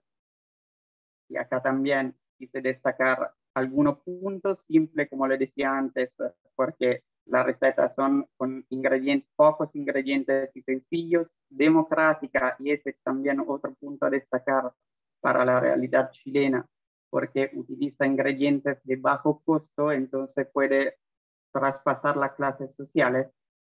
Es convivial, ¿no? O sea, el, el, momento del compartir en familia y del cocinar en familia es algo fundamental de la dieta mediterránea, saludable. No, no voy a hacer comentarios sobre eso. Buena para el medio ambiente, eso también, porque utilizando pocas carnes y más vegetales y legumbres o cereales, eh, se, se, ahorra mucho, mucha energía y transversal, eso une los pueblos, une las culturas, es una dieta buena para los veganos, para los vegetarianos, para los carnívoros, para los pesívoros y todo eso, y además une los pueblos y es algo que como cocinero me encanta, porque la dieta mediterránea, hay la dieta mediterránea a la italiana, pero de, de igual forma hay la dieta mediterránea al estilo marroquí, al estilo del, de la región sur de Francia, del estilo español, del estilo de Grecia. Entonces, por eso une los pueblos en un momento en el cual los pueblos intentan como alejarse, la dieta mediterránea sigue siendo un punto de, de, de encuentro. Y no es solo comida, sino que es de verdad todo lo que está alrededor de, de la mesa y que sigue una persona por, por todo el día. Ahora, lo que yo veo como cocinero italiano en Chile de, de, de, de, aspecto positivo y negativo para, para implementar una posible dieta mediterránea en Chile, seguramente los lo aspectos favorables son la gran disponibilidad y la gran producción de fruta, fre fruta y verduras frescas y productos similares, la producción de excelente, sobre todo en los últimos años, aceite de oliva extra virgen, la extracción de muchos productos pesqueros, tenga en cuenta lo que es en Italia, que Chile es uno de los más grandes productores de varios productos, por ejemplo, los erizos, eh, la, las cholgas y todo eso. Eh, la costumbre cultural en Chile de utilizar legumbres es algo que está bien intrínseco en las familias, así que no es difícil ofrecer legumbres a la persona. Y lo que veo como más difícil es el general el cambio cultural en varios aspectos. Primero, en el aspecto, como le decía antes, por ejemplo, de las bebidas. Ese es un aspecto que, que como cocinero en Italia eh, me, me, me, me, hace, hace mucho, no sé cómo se dice, pero me toma mucho la atención porque, porque el, el utilizo excesivo de bebida, que siempre haya bebida en la mesa y no agua, nunca agua, eso es un punto de cambio. Y el otro tema como cocinero, como, pero como italiano en Chile, que noto difícil, es la costumbre de la once. Para lo italiano, en Chile se utiliza mucho la once, que es como una, una merienda eh, que, que no, no, no ofrece la posibilidad de cocinar en familia ni de compartir en familia. y, toda la noche. Entonces creo que ese, ese momento es algo que, que, que, habría que, a mí me hace falta como cocinero, como, como persona que vive en Chile, ese momento en el cual una familia se reúne en la casa, cocina en la noche, la mamá dice a tavola, vengan a la mesa y se come todo juntos. Ese es un punto que, que yo veo como, como bastante problemático. ¿no? Y bueno, ahí básicamente mi, mi visión de la, de la, dieta mediterránea hecha en pequeños pequeños minutos. Acá le había solo puesto alguna de, de los productos emblemáticos italianos para ver la, la, biodiversidad de los productos y de las recetas. Y, por ejemplo, los diferentes formatos de pasta, los diferentes salsas para pasta, los diferentes quesos y los diferentes eh, panes que se producen en Italia. ¿Por qué pongo eso? Porque eh, el otro punto para mí, mi pequeño pa, mejorable en la, en la, producción gastronómica chilena, que es el Chile un país muy, muy grande, con, con como temporada muy diferente entre el norte, el sur y el centro. Y, y la, la, la, cocina chilena es muy estandarizada, o sea, se come, se come casi lo mismo a los 4.000 kilómetros en el norte y en el sur. Eh, y, y, eso creo que, que, puede ser algo interesante como, como favorecer la, la, la, la, estacionalidad y los productos más locales en cada región chilena. Eso básicamente. Muchas gracias. Muchas gracias al chef Giacometti por su presentación sobre los aspectos culinarios de la dieta mediterránea. Antes de terminar esta parte, quisiera compartir los saludos del público dirigidos a la Embajada italiana y a todos nuestros invitados que nos acompañan desde Italia. A continuación, iniciaremos la sesión de preguntas de la audiencia para nuestros expositores que han ido llegando a través del chat eh, de este webinar. Eh, vamos, aquí yo las voy a ver. Em, aquí tengo una pregunta para la doctora Ruini de Cristian Faundes dice, ¿el bienestar psicológico tiene un nivel fijo o se puede mejorar con estrategias validadas científicamente, por ejemplo? Domanda molto interessante. Eh, il benessere psicologico diciamo che può avere un livello... Una pregunta muy interesante. El bienestar puede tener un nivel bastante estable en el tiempo. También dependiendo de las fases de la vida, por ejemplo, perfiles de crecimiento personal durante la juventud, objetivos de vida muy elevados, pero ya cuando se llega a la edad más anciana, más adelante en el tiempo, pueden haber niveles más eh, elevados de autoaceptación, de autoestima, también en el sentido de realización personal. Yo diría que diferente de las emociones positivas o placer de gustar una buena comida, que es un momento, es un momento que termina. Es importante, pero es un momento que pasa. El bienestar psicológico, la eudonomía, más bien queda estable en el tiempo. Sin embargo, también hay noticias malas con respecto a esto, porque de hecho, alguien que parte con niveles de bienestar más bajos tiende a permanecer así tiende a permanecer en estos niveles deficitarios de bienestar.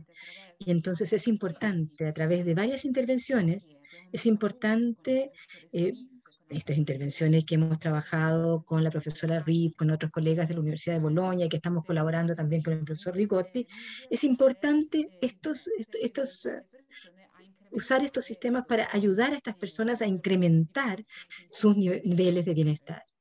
Es posible modificarlo, pero hay que trabajar, hay que hacer trabajo psicológico y trabajo sobre el estilo de vida de las personas. Muchas gracias, doctora Ruini, por su respuesta.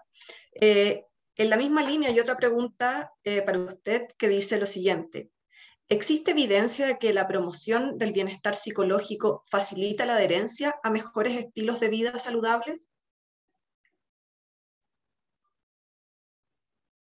Sì, sì, sì, c'è moltissima, adesso non volevo... Mm, volevo Sí, claro, no quería alargarme mucho, no quería alargarme contándoles tantos datos científicos, pero sí, hay muchos estudios que se han llevado a cabo a nivel internacional principalmente el estudio MIRUS, eh, Midlife en Estados Unidos, de la profesora Carol Reef, un estudio muy importante que salió en el 2019 que pone a la luz, por ejemplo, lo que respecta a la actividad física.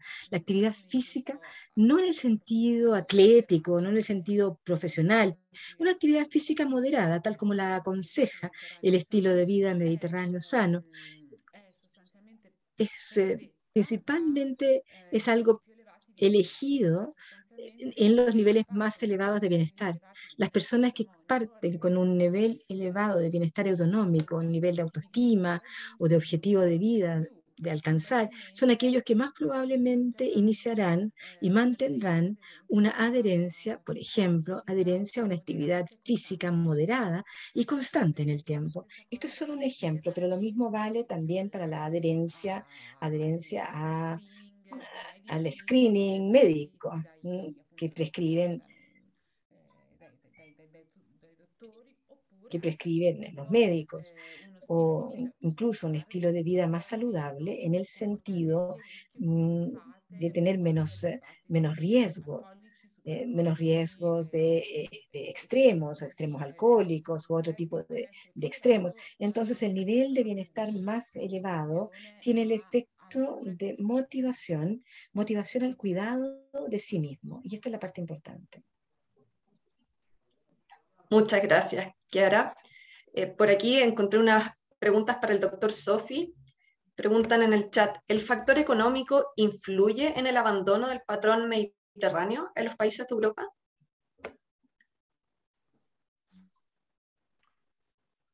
Sí, en realidad el factor económico ha un efecto. El factor económico tiene un efecto, en realidad tiene un efecto en la disminución de la adherencia a la dieta mediterránea.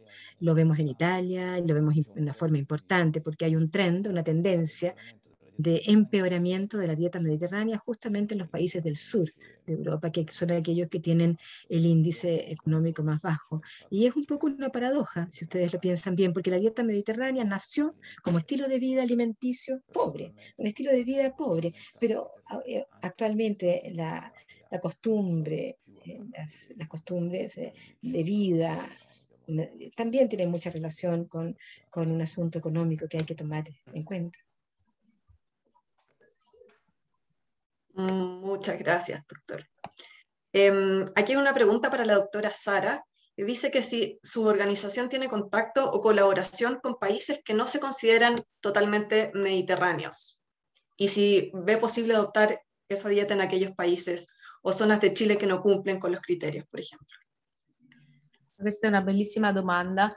Eh... La pregunta es muy linda, es muy hermosa. En realidad es lo que estamos tratando de hacer.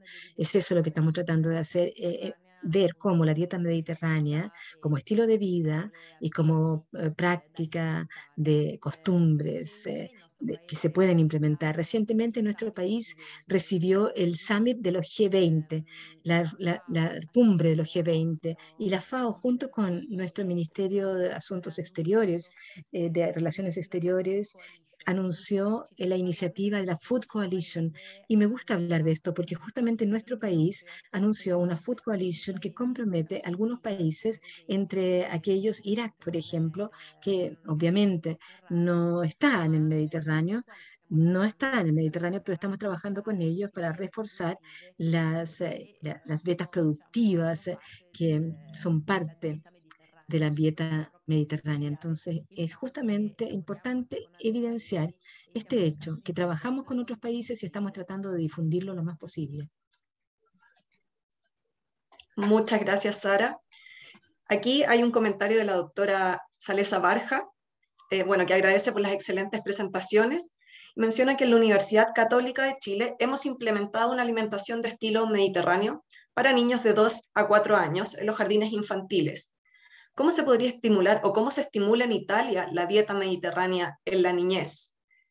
Esta, mm, no sé quién quiere tomar la palabra. Io magari posso raccontare un pezzettino della nostra esperienza. Yo les puedo contar un poquito de nuestra experiencia, porque de hecho comenzamos a trabajar mucho en la escuela, a nivel escolar. Y ahora, justamente ahora que nuestro ministerio lanzó una serie de iniciativas para la transición ecológica en la didáctica, digamos, en la, en la, en, la parte escolar. Y nosotros llevamos un modelo que lleva la dieta mediterránea a los programas escolares. Para nosotros es un instrumento para hablar de alimento, de costumbres alimentarias, en otras materias también, porque hablar de dieta mediterránea nos permite conectarnos con historia, con geografía, con ciencia, con filosofía. Por lo tanto, se transforma en un instrumento práctico para hablar de objetivos de desarrollo sostenible, los ODS, con algo muy concreto, que es parte de lo cotidiano para nosotros y puede ser traducido en un plato de comida. Entonces, esto es algo que nosotros estamos experimentando, lo estamos haciendo con distintas escuelas. El año pasado trabajamos con 20.000 jóvenes en estos temas. Muchas gracias por la respuesta. Em, aquí hay otra pregunta pero es para los médicos que están presentes también el webinar respecto a qué podrían decir sobre la costumbre chilena de tomar once en alusión a la dieta mediterránea.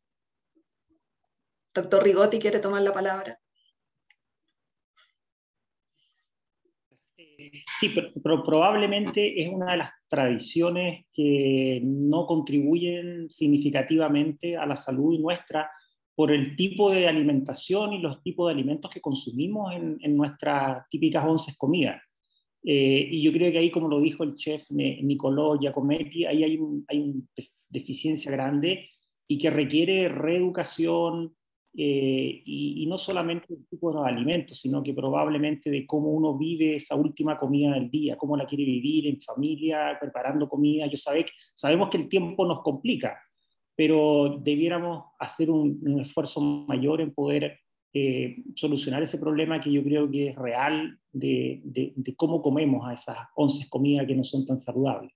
Bárbara, yo no sé si Bárbara, que es nuestra nutricionista, también puede, mirarlo de la perspectiva más de nutricionista y cómo aconsejar a los pacientes. Eh, gracias, doctor Rigotti. Bueno, complementando un poco la pregunta, que es una muy buena pregunta, quiero mencionarles que hay un estudio que se hizo en nuestro país justamente analizando cuál era el efecto de la ONCE eh, en los chilenos y em, fue bastante interesante ya que las personas que toman once en vez de comer comida, en el fondo las personas en Chile básicamente deciden tomar once o comer comida, es poco frecuente que las personas tomen once y coman comida. Bueno, estas personas que toman once tienen más eh, exceso de peso que las personas que comen comida. Entonces, desde el punto de vista de la propuesta eh, de dieta mediterránea, yo creo que sería interesante que esta once, que es tan tradicional, ojalá podamos eh, tratar de mediterranizarla un poco, incluyendo alimentos que sean parte de esta canasta, ¿ya? Así que no hay que romper la tradición, sino que también hay que reinventarla. Gracias, Bárbara. Em, aquí un par de preguntas más antes de ir terminando esta sección. Em, Aquí dice, en Italia hay variación entre los adultos y niños en el consumo de aceite de oliva en la dieta, porque me parece que en Chile los niños no son muy adeptos a consumir aceite de oliva. Una pregunta que a lo mejor podría responderla el chef, a lo mejor, no sé si tienen conocimiento al respecto. Tengo conocimiento por mi hijo. Primero, el aceite de oliva es utilizado desde la primera edad en Italia. Uh, y sé que en Chile muchos médicos, no sé si lo que están acá, desaconsejan el uso de aceite de oliva, aconsejando otro aceite en, en la dieta de los de lo recién nacidos, o sea, de los recién nacidos desde, desde que empiecen a comer. Uh, claramente hay una diferencia en, en gramos por, por, por, persona entre adultos y niños, pero seguramente el aceite de oliva es la grasa, la única, la grasa principal que se le da a los niños en Italia. Gracias, Nicolò. Una pregunta también respecto, respecto a la dieta. Como chef, ¿qué puede decir sobre la calidad de los alimentos chilenos de tipo mediterráneo?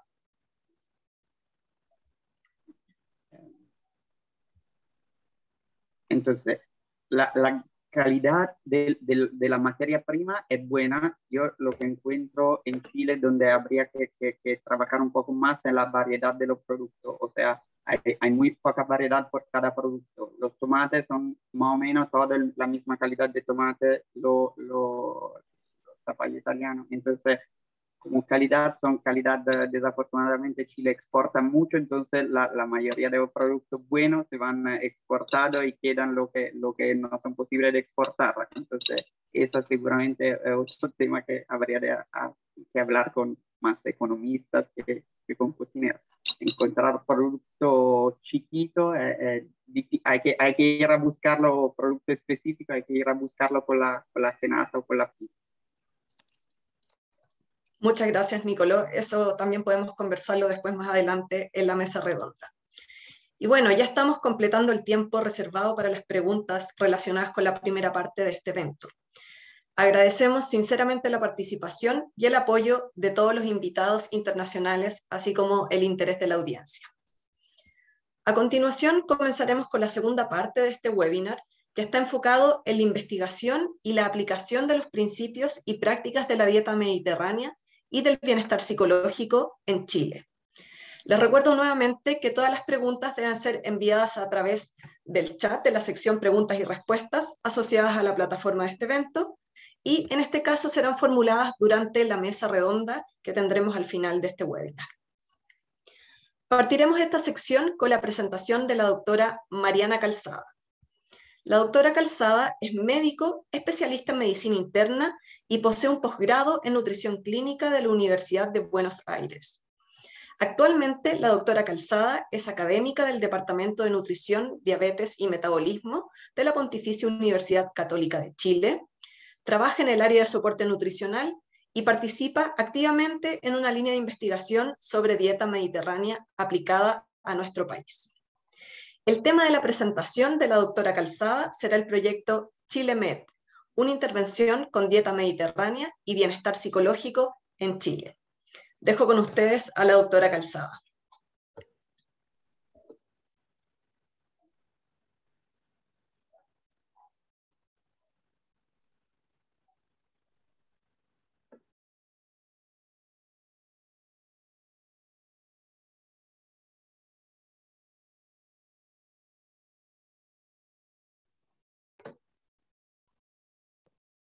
Doctora Calzada.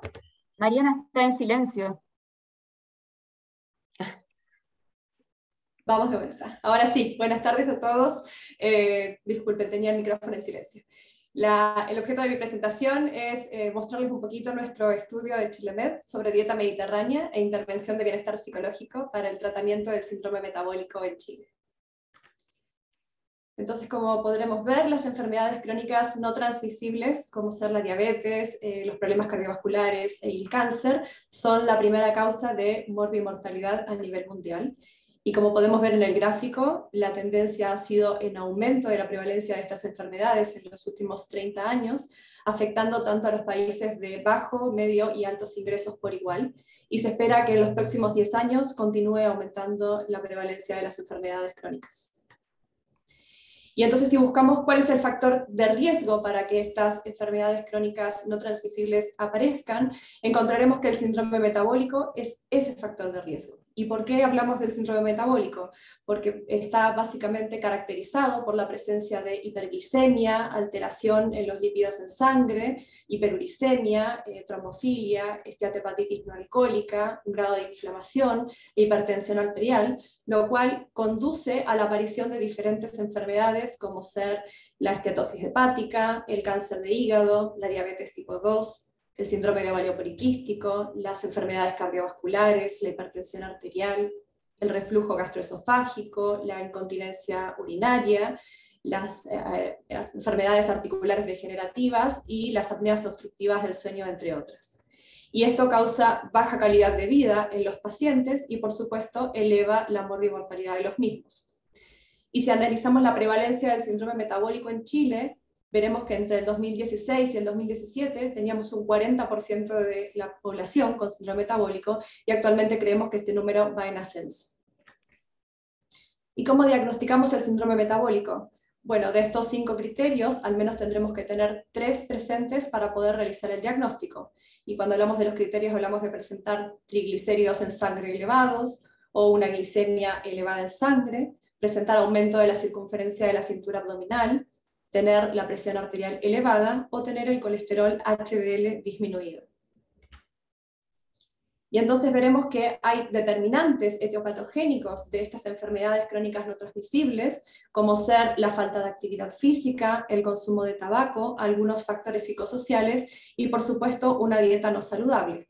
Entonces la pregunta es, ¿cómo revertimos estos eh, determinantes de factores de riesgo?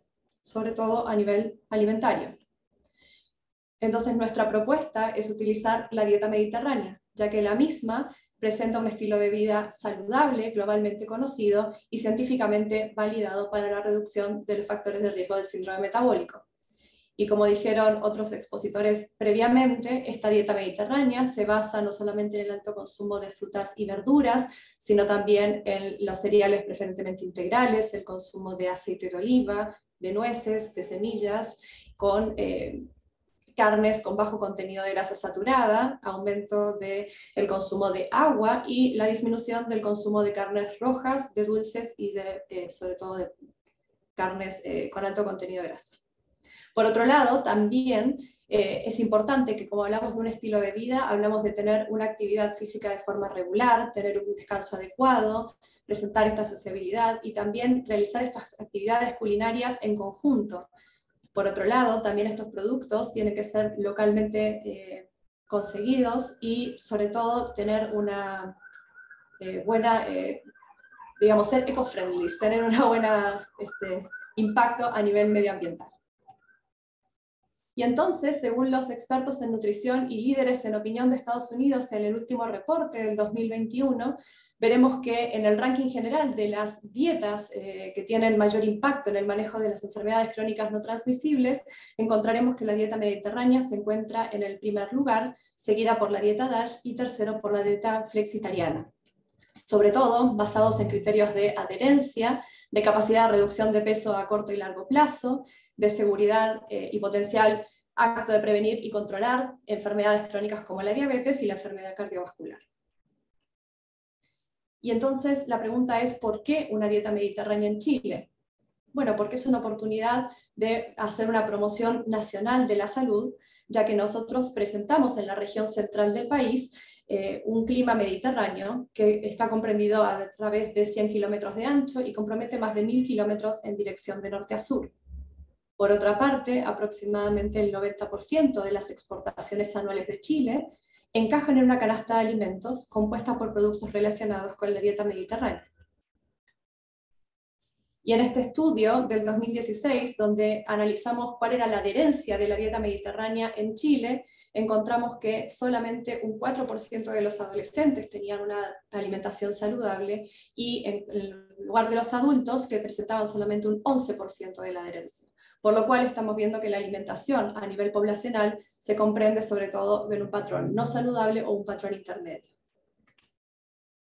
Entonces, nuestro modelo de trabajo para el manejo de estas enfermedades crónicas eh, transmisibles en Chile es justamente combinar la dieta mediterránea con el bienestar psicológico para promover la salud y prevenir las condiciones de riesgo y las enfermedades crónicas. Entonces, si analizamos el caso de Chile, veremos de que la cocina chilena cumple principios gastronómicos y nutricionales de la dieta mediterránea, entonces presenta una aceptabilidad cultural, por otro lado, como mencioné previamente, la región central de Chile produce alimentos típicos de la dieta mediterránea. Es asequible, ya que la dieta mediterránea puede tener bajos costos alimentarios y energéticos diarios. También provoca un bajo impacto ambiental, ya que la dieta mediterránea deja una baja huella de carbono y de agua y utiliza menos terreno y energía, y además presenta un patrón de alimentación saludable. Entonces aquí les, presento nuestro proyecto Fontesit, cuyo título es el diseño, la implementación y la evaluación prospectiva de intervención basada en la dieta mediterránea y la teoría del bienestar psicológico para revertir el síndrome metabólico, una condición de riesgo de enfermedad crónica altamente prevalente en Chile. Y el objetivo de nuestros estudios es diseñar una intervención basada en una teoría de bienestar psicológico y por otro lado refinar y adaptar el patrón de dieta mediterránea a nuestro contexto local, También determinar si esta intervención de bienestar psicológico facilita tanto el inicio como la adherencia a largo plazo de un patrón de dieta mediterránea. Y por último, establecer si la dieta mediterránea, en, asociación con una promoción del bienestar psicológico versus una dieta baja en grasa, facilita la reversión del síndrome metabólico. Entonces, eh, como plan general de nuestro trabajo, está dividido en dos fases a mediados de este año hemos eh, completado la primera fase, que fue el diseño de la intervención de bienestar psicológico y el diseño de la dieta mediterránea, en lo cual nos hemos puesto a trabajar en grupos focales sobre tanto el diseño de la intervención de bienestar como la dieta mediterránea, obviamente adaptado al bienestar psicológico y a la conceptualización de nuestro país. Y actualmente nos encontramos cursando la segunda fase de nuestro estudio, que es el ensayo clínico aleatorizado, donde estamos reclutando voluntarios los cuales van a ser divididos en tres ramas de pacientes. Una rama de pacientes recibirá una dieta baja en grasa, otro grupo de pacientes recibirá una dieta mediterránea y un tercer grupo de pacientes recibirá una dieta mediterránea más una intervención de bienestar psicológico y actualmente llevamos entrevistados 135 pacientes, de los cuales 56 han sido excluidos y 9 se encuentran en evaluación activa. Y ya tenemos en este momento en nuestro trabajo 24 pacientes recibiendo dieta mediterránea, 26 pacientes recibiendo dieta mediterránea más una intervención de bienestar psicológico y 20 pacientes recibiendo una dieta baja en grasa. Y nuestro objetivo es tener en cada equipo de trabajo aproximadamente 113 pacientes. Así que seguimos reclutando. Y como conclusión final, veremos que la dieta mediterránea es una valiosa herencia cultural que representa mucho más que una simple pauta nutricional sabrosa y saludable. Es un estilo de vida equilibrado e integral que no solo recoge recetas y formas de cocinar, sino también celebraciones, costumbres, productos típicos y actividades humanas diversas que promueven el bienestar psicosocial. Y el objetivo de nuestro estudio es básicamente integrar estos conocimientos en nutrición y de bienestar psicológico con el objeto de mejorar la salud y prevenir enfermedades crónicas no transmisibles en Chile mediante un estilo de alimentación y de vida sustentable. Bueno, aquí les presento a nuestro equipo de investigación liderado por el doctor Rigotti, tenemos un equipo multidisciplinario donde contamos con ingenieros, con doctores en ciencias médicas, con psicólogos, con docentes y con nutricionistas. También contamos con, investigadoras, nutricionistas y doctores, magísteres en nutrición y estudiantes de medicina de pregrado. También contamos con colaboradores internacionales como Carol Riff de la Universidad de Wisconsin y Chiara Ruini de la Universidad de Bolonia, Italia. Además, tenemos un acuerdo de colaboración entre la Embajada de Italia y la Pontificia Universidad Católica de Chile, gracias al embajador Mauro Batocchi y a nuestro rector, el doctor Ignacio Sánchez Díaz.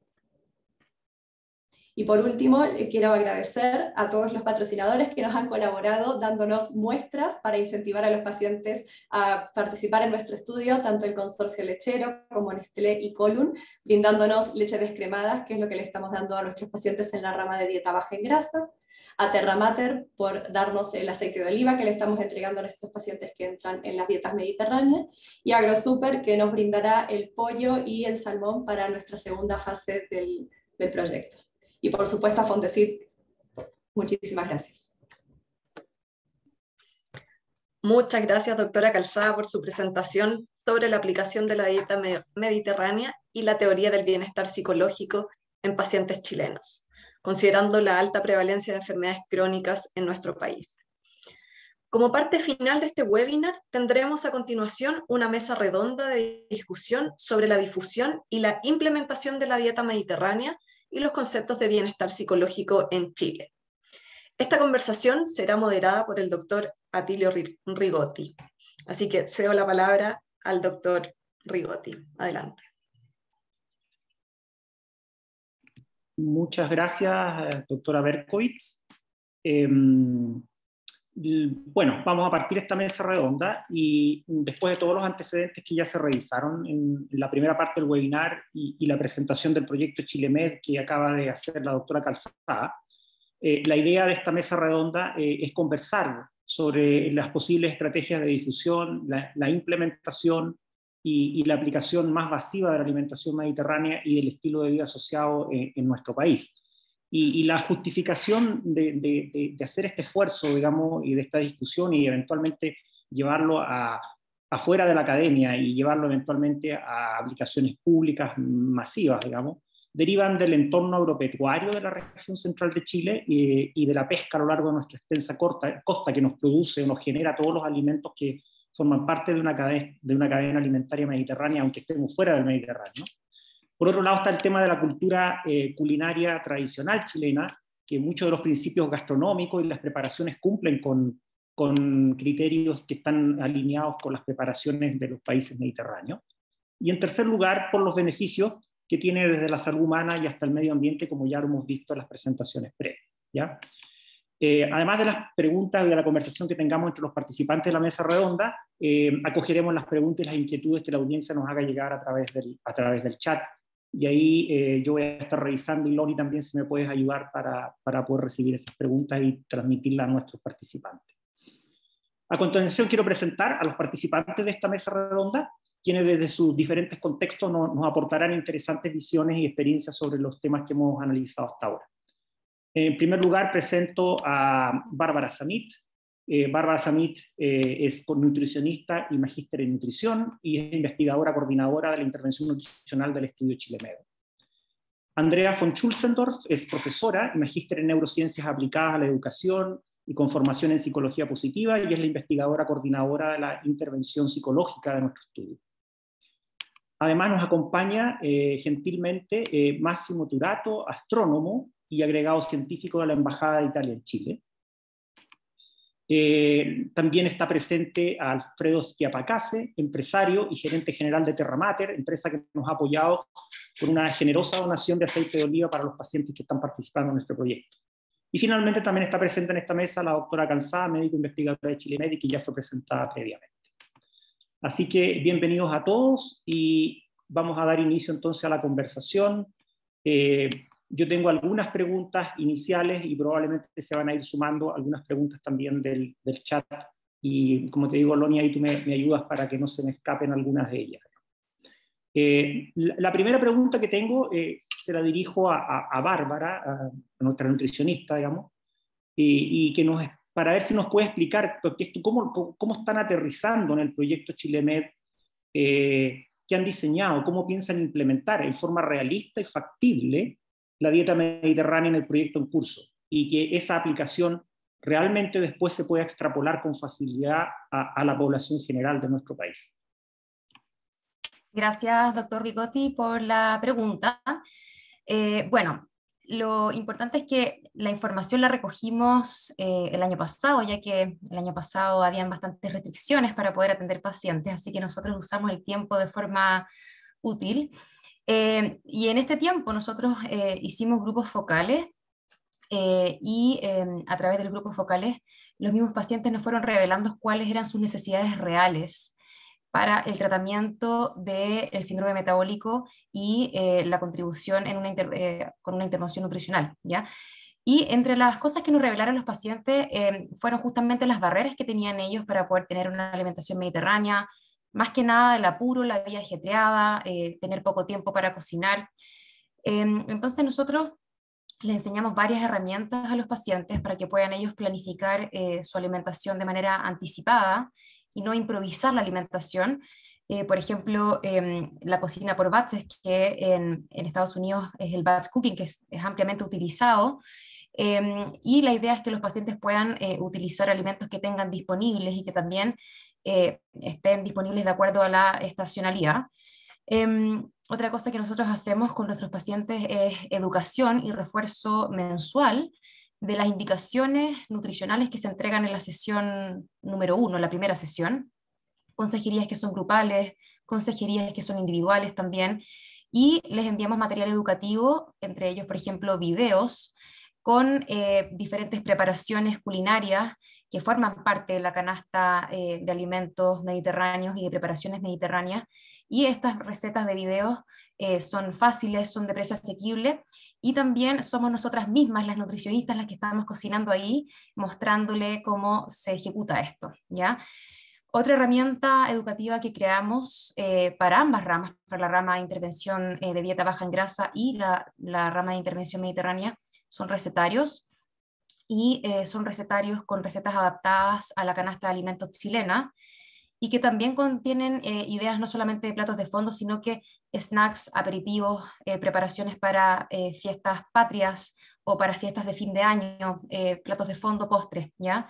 Y lo interesante es que las recetas vienen con el tiempo de ejecución, ya que, como mencioné antes, la barrera de implementación de la alimentación generalmente es el tiempo, es lo que los pacientes señalan. Y bueno, eh, dada la, amplia evidencia científica que ha mostrado en esta, en esta presentación nuestros expositores, eh, nosotros quisiéramos recomendar la dieta mediterránea no solamente para prevenir y tratar enfermedades crónicas, sino que la idea es que uno de los objetivos fuera eh, contribuir a la generación de alguna política pública que promueva la dieta mediterránea en nuestro país como una herramienta potente para prevenir eh, enfermedades prevalentes en Chile, o sea, las enfermedades cardiovasculares y el cáncer, que son la mayor causa de muerte, ¿ya? Y la idea es que este patrón mediterráneo también sea como parte de, eh, la estrategia de intervención y ojalá forme parte de las políticas públicas, tal como lo mencionaba usted, doctor Rigotti. Bueno, muchas gracias por la completa respuesta, Bárbara. Eh, y yo creo que tiene digamos, eh, la idea justamente es que el diseño de este proyecto eh, trate de ser algo que sea asequible y factible para la población general y no algo de, alto costo y poco realista. Así que en ese sentido, eh, ojalá que, los resultados sustenten esa, esa, esa idea.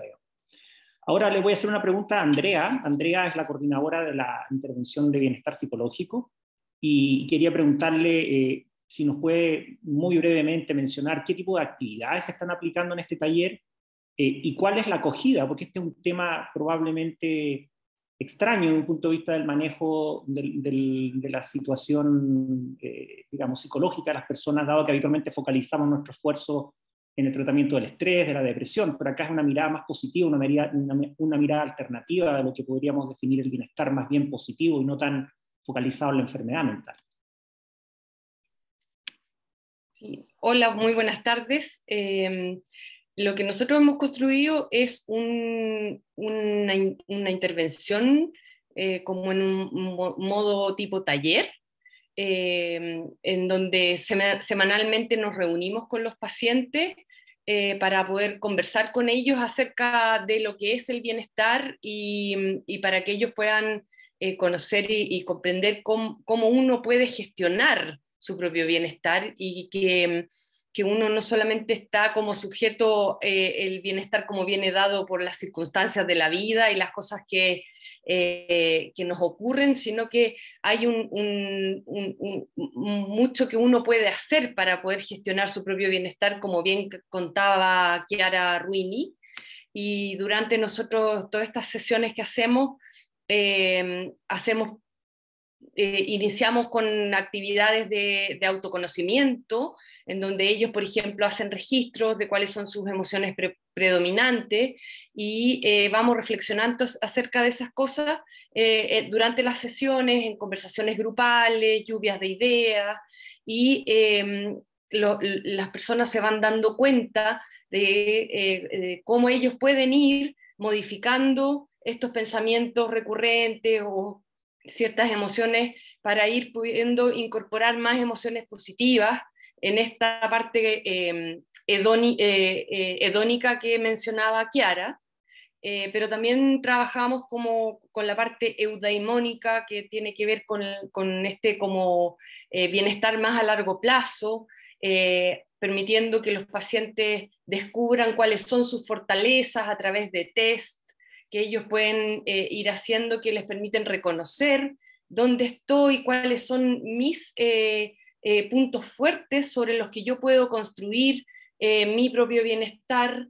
Em, también hacemos actividades con pequeños ejercicios de mindfulness que nos van permitiendo eh, sentirnos mejor, tener una mirada un poco más autocompasiva, para poder generar esta relación positiva con uno mismo, eh, y, también les vamos conversando con ellos mucho y trabajando este sentimiento de autoeficacia que también fue varias veces mencionado durante las charlas, pensando en que ellos vayan haciendo pequeños pasos en, sus, eh, en el camino hacia, su bienestar, porque esos pequeños logros y éxitos construyen este sentimiento de autoeficacia que a la larga se traduce en, eh, en una autoestima mejor y una mayor adherencia a cualquier eh, conducta de salud.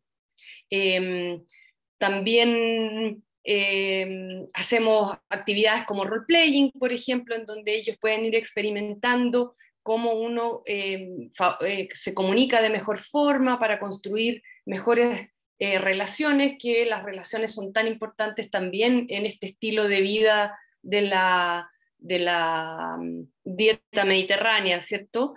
Y, y, en cuanto a la acogida, bueno, nosotros estamos, eh, hicimos un primer, eh, un, primer grupo que fue un piloto.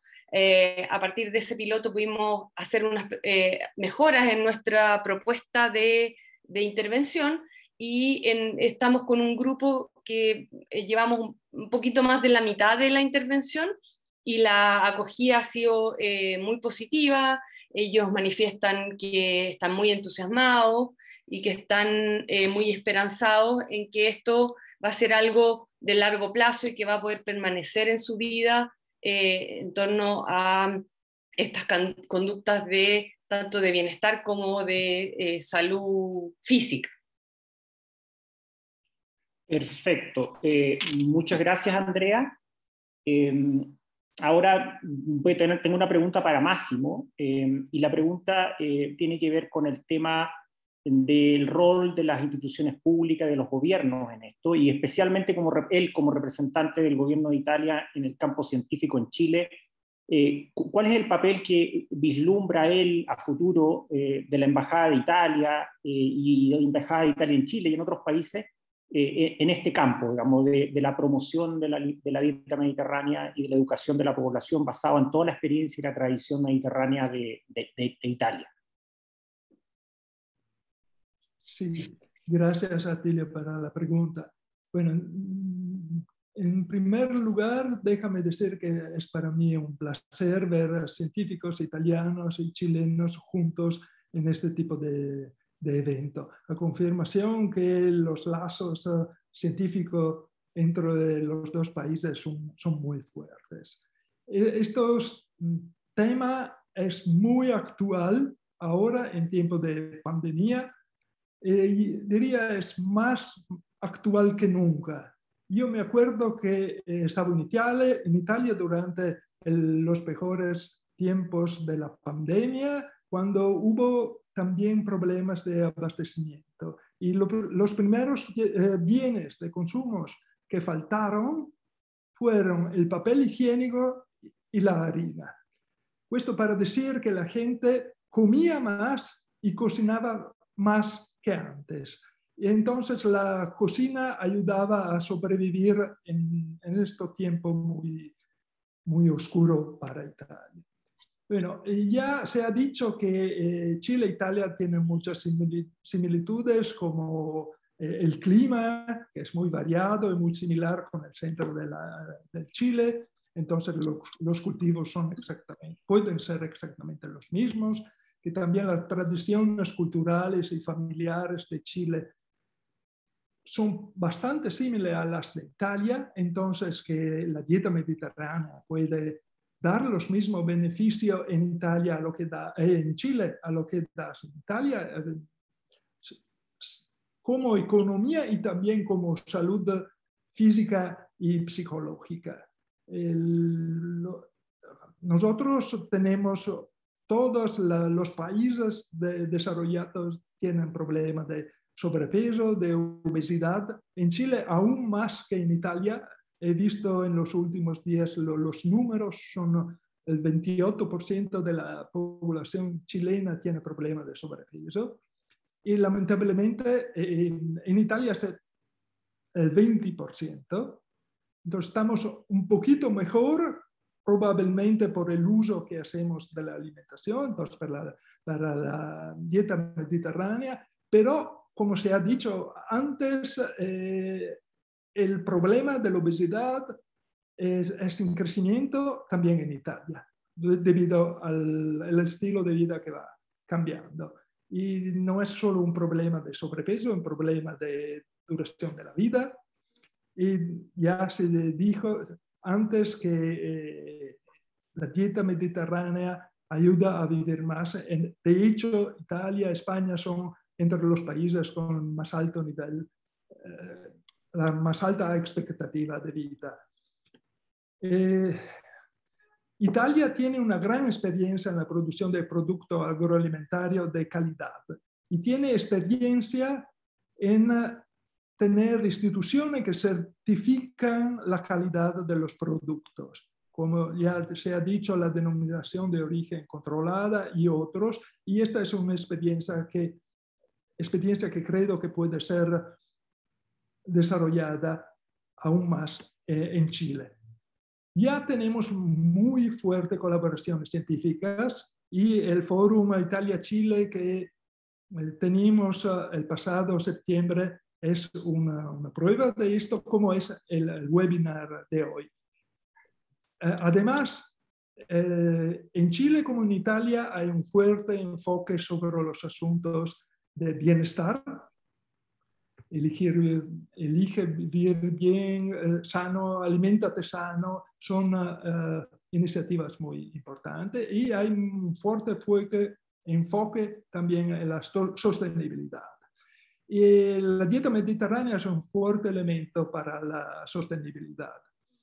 Eh, ya se ha dicho el uso de productos locales que evitan el transporte, el uso de productos de temporada, de temporada, entonces cultivos según el ciclo natural, eh, el impacto ambiental de la dieta mediterránea. Hay prueba que es del 60% inferior de lo basado en la carne en las cruces animales.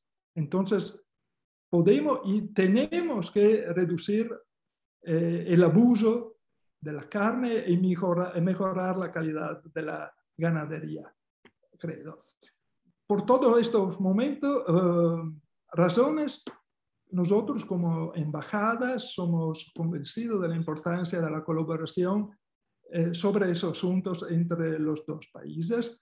Es un asunto de carácter científico, pero aún más cultural y social.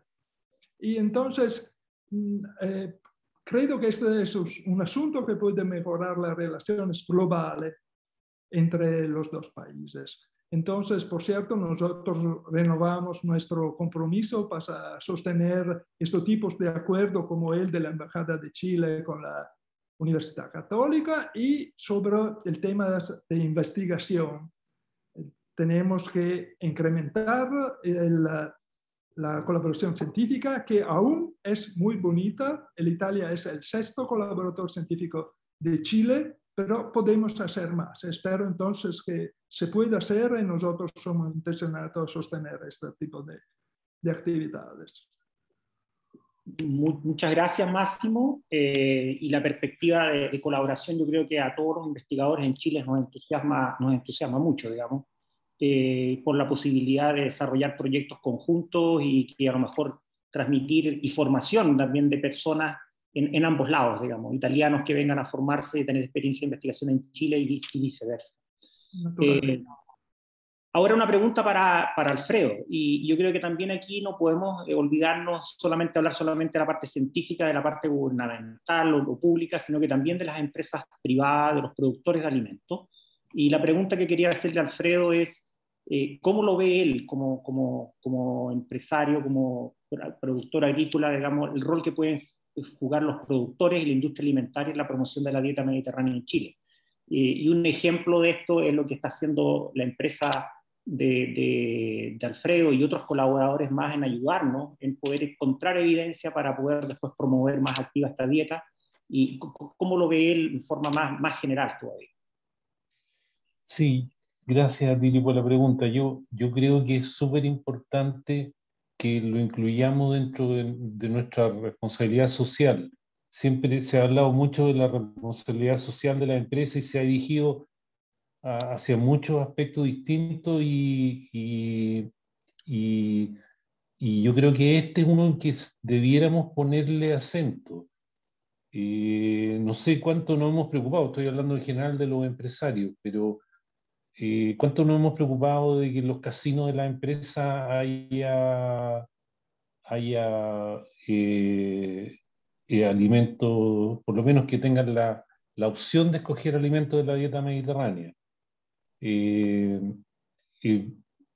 Uno, un mal ejemplo, por ejemplo, son los hospitales que tienen tan llenos de máquinas que venden papas fritas y, y otras, otras cosas que no son muy y bebidas, que, cosas que no son muy de la dieta mediterránea ni menos saludable. O sea, yo creo que es un aspecto de la, de la responsabilidad social que tenemos y que tenemos que, y eso cae para todos los empresarios, y particularmente hay, hay, un, grupo importante que creo que somos, somos muchos y no somos muy grandes, somos, somos restaurantes, somos productores de aceite de oliva, somos productores de, de o somos verdurería, eh, y, entonces va a costar, eh, yo creo que no hay una conciencia de que estamos todos haciendo un servicio que va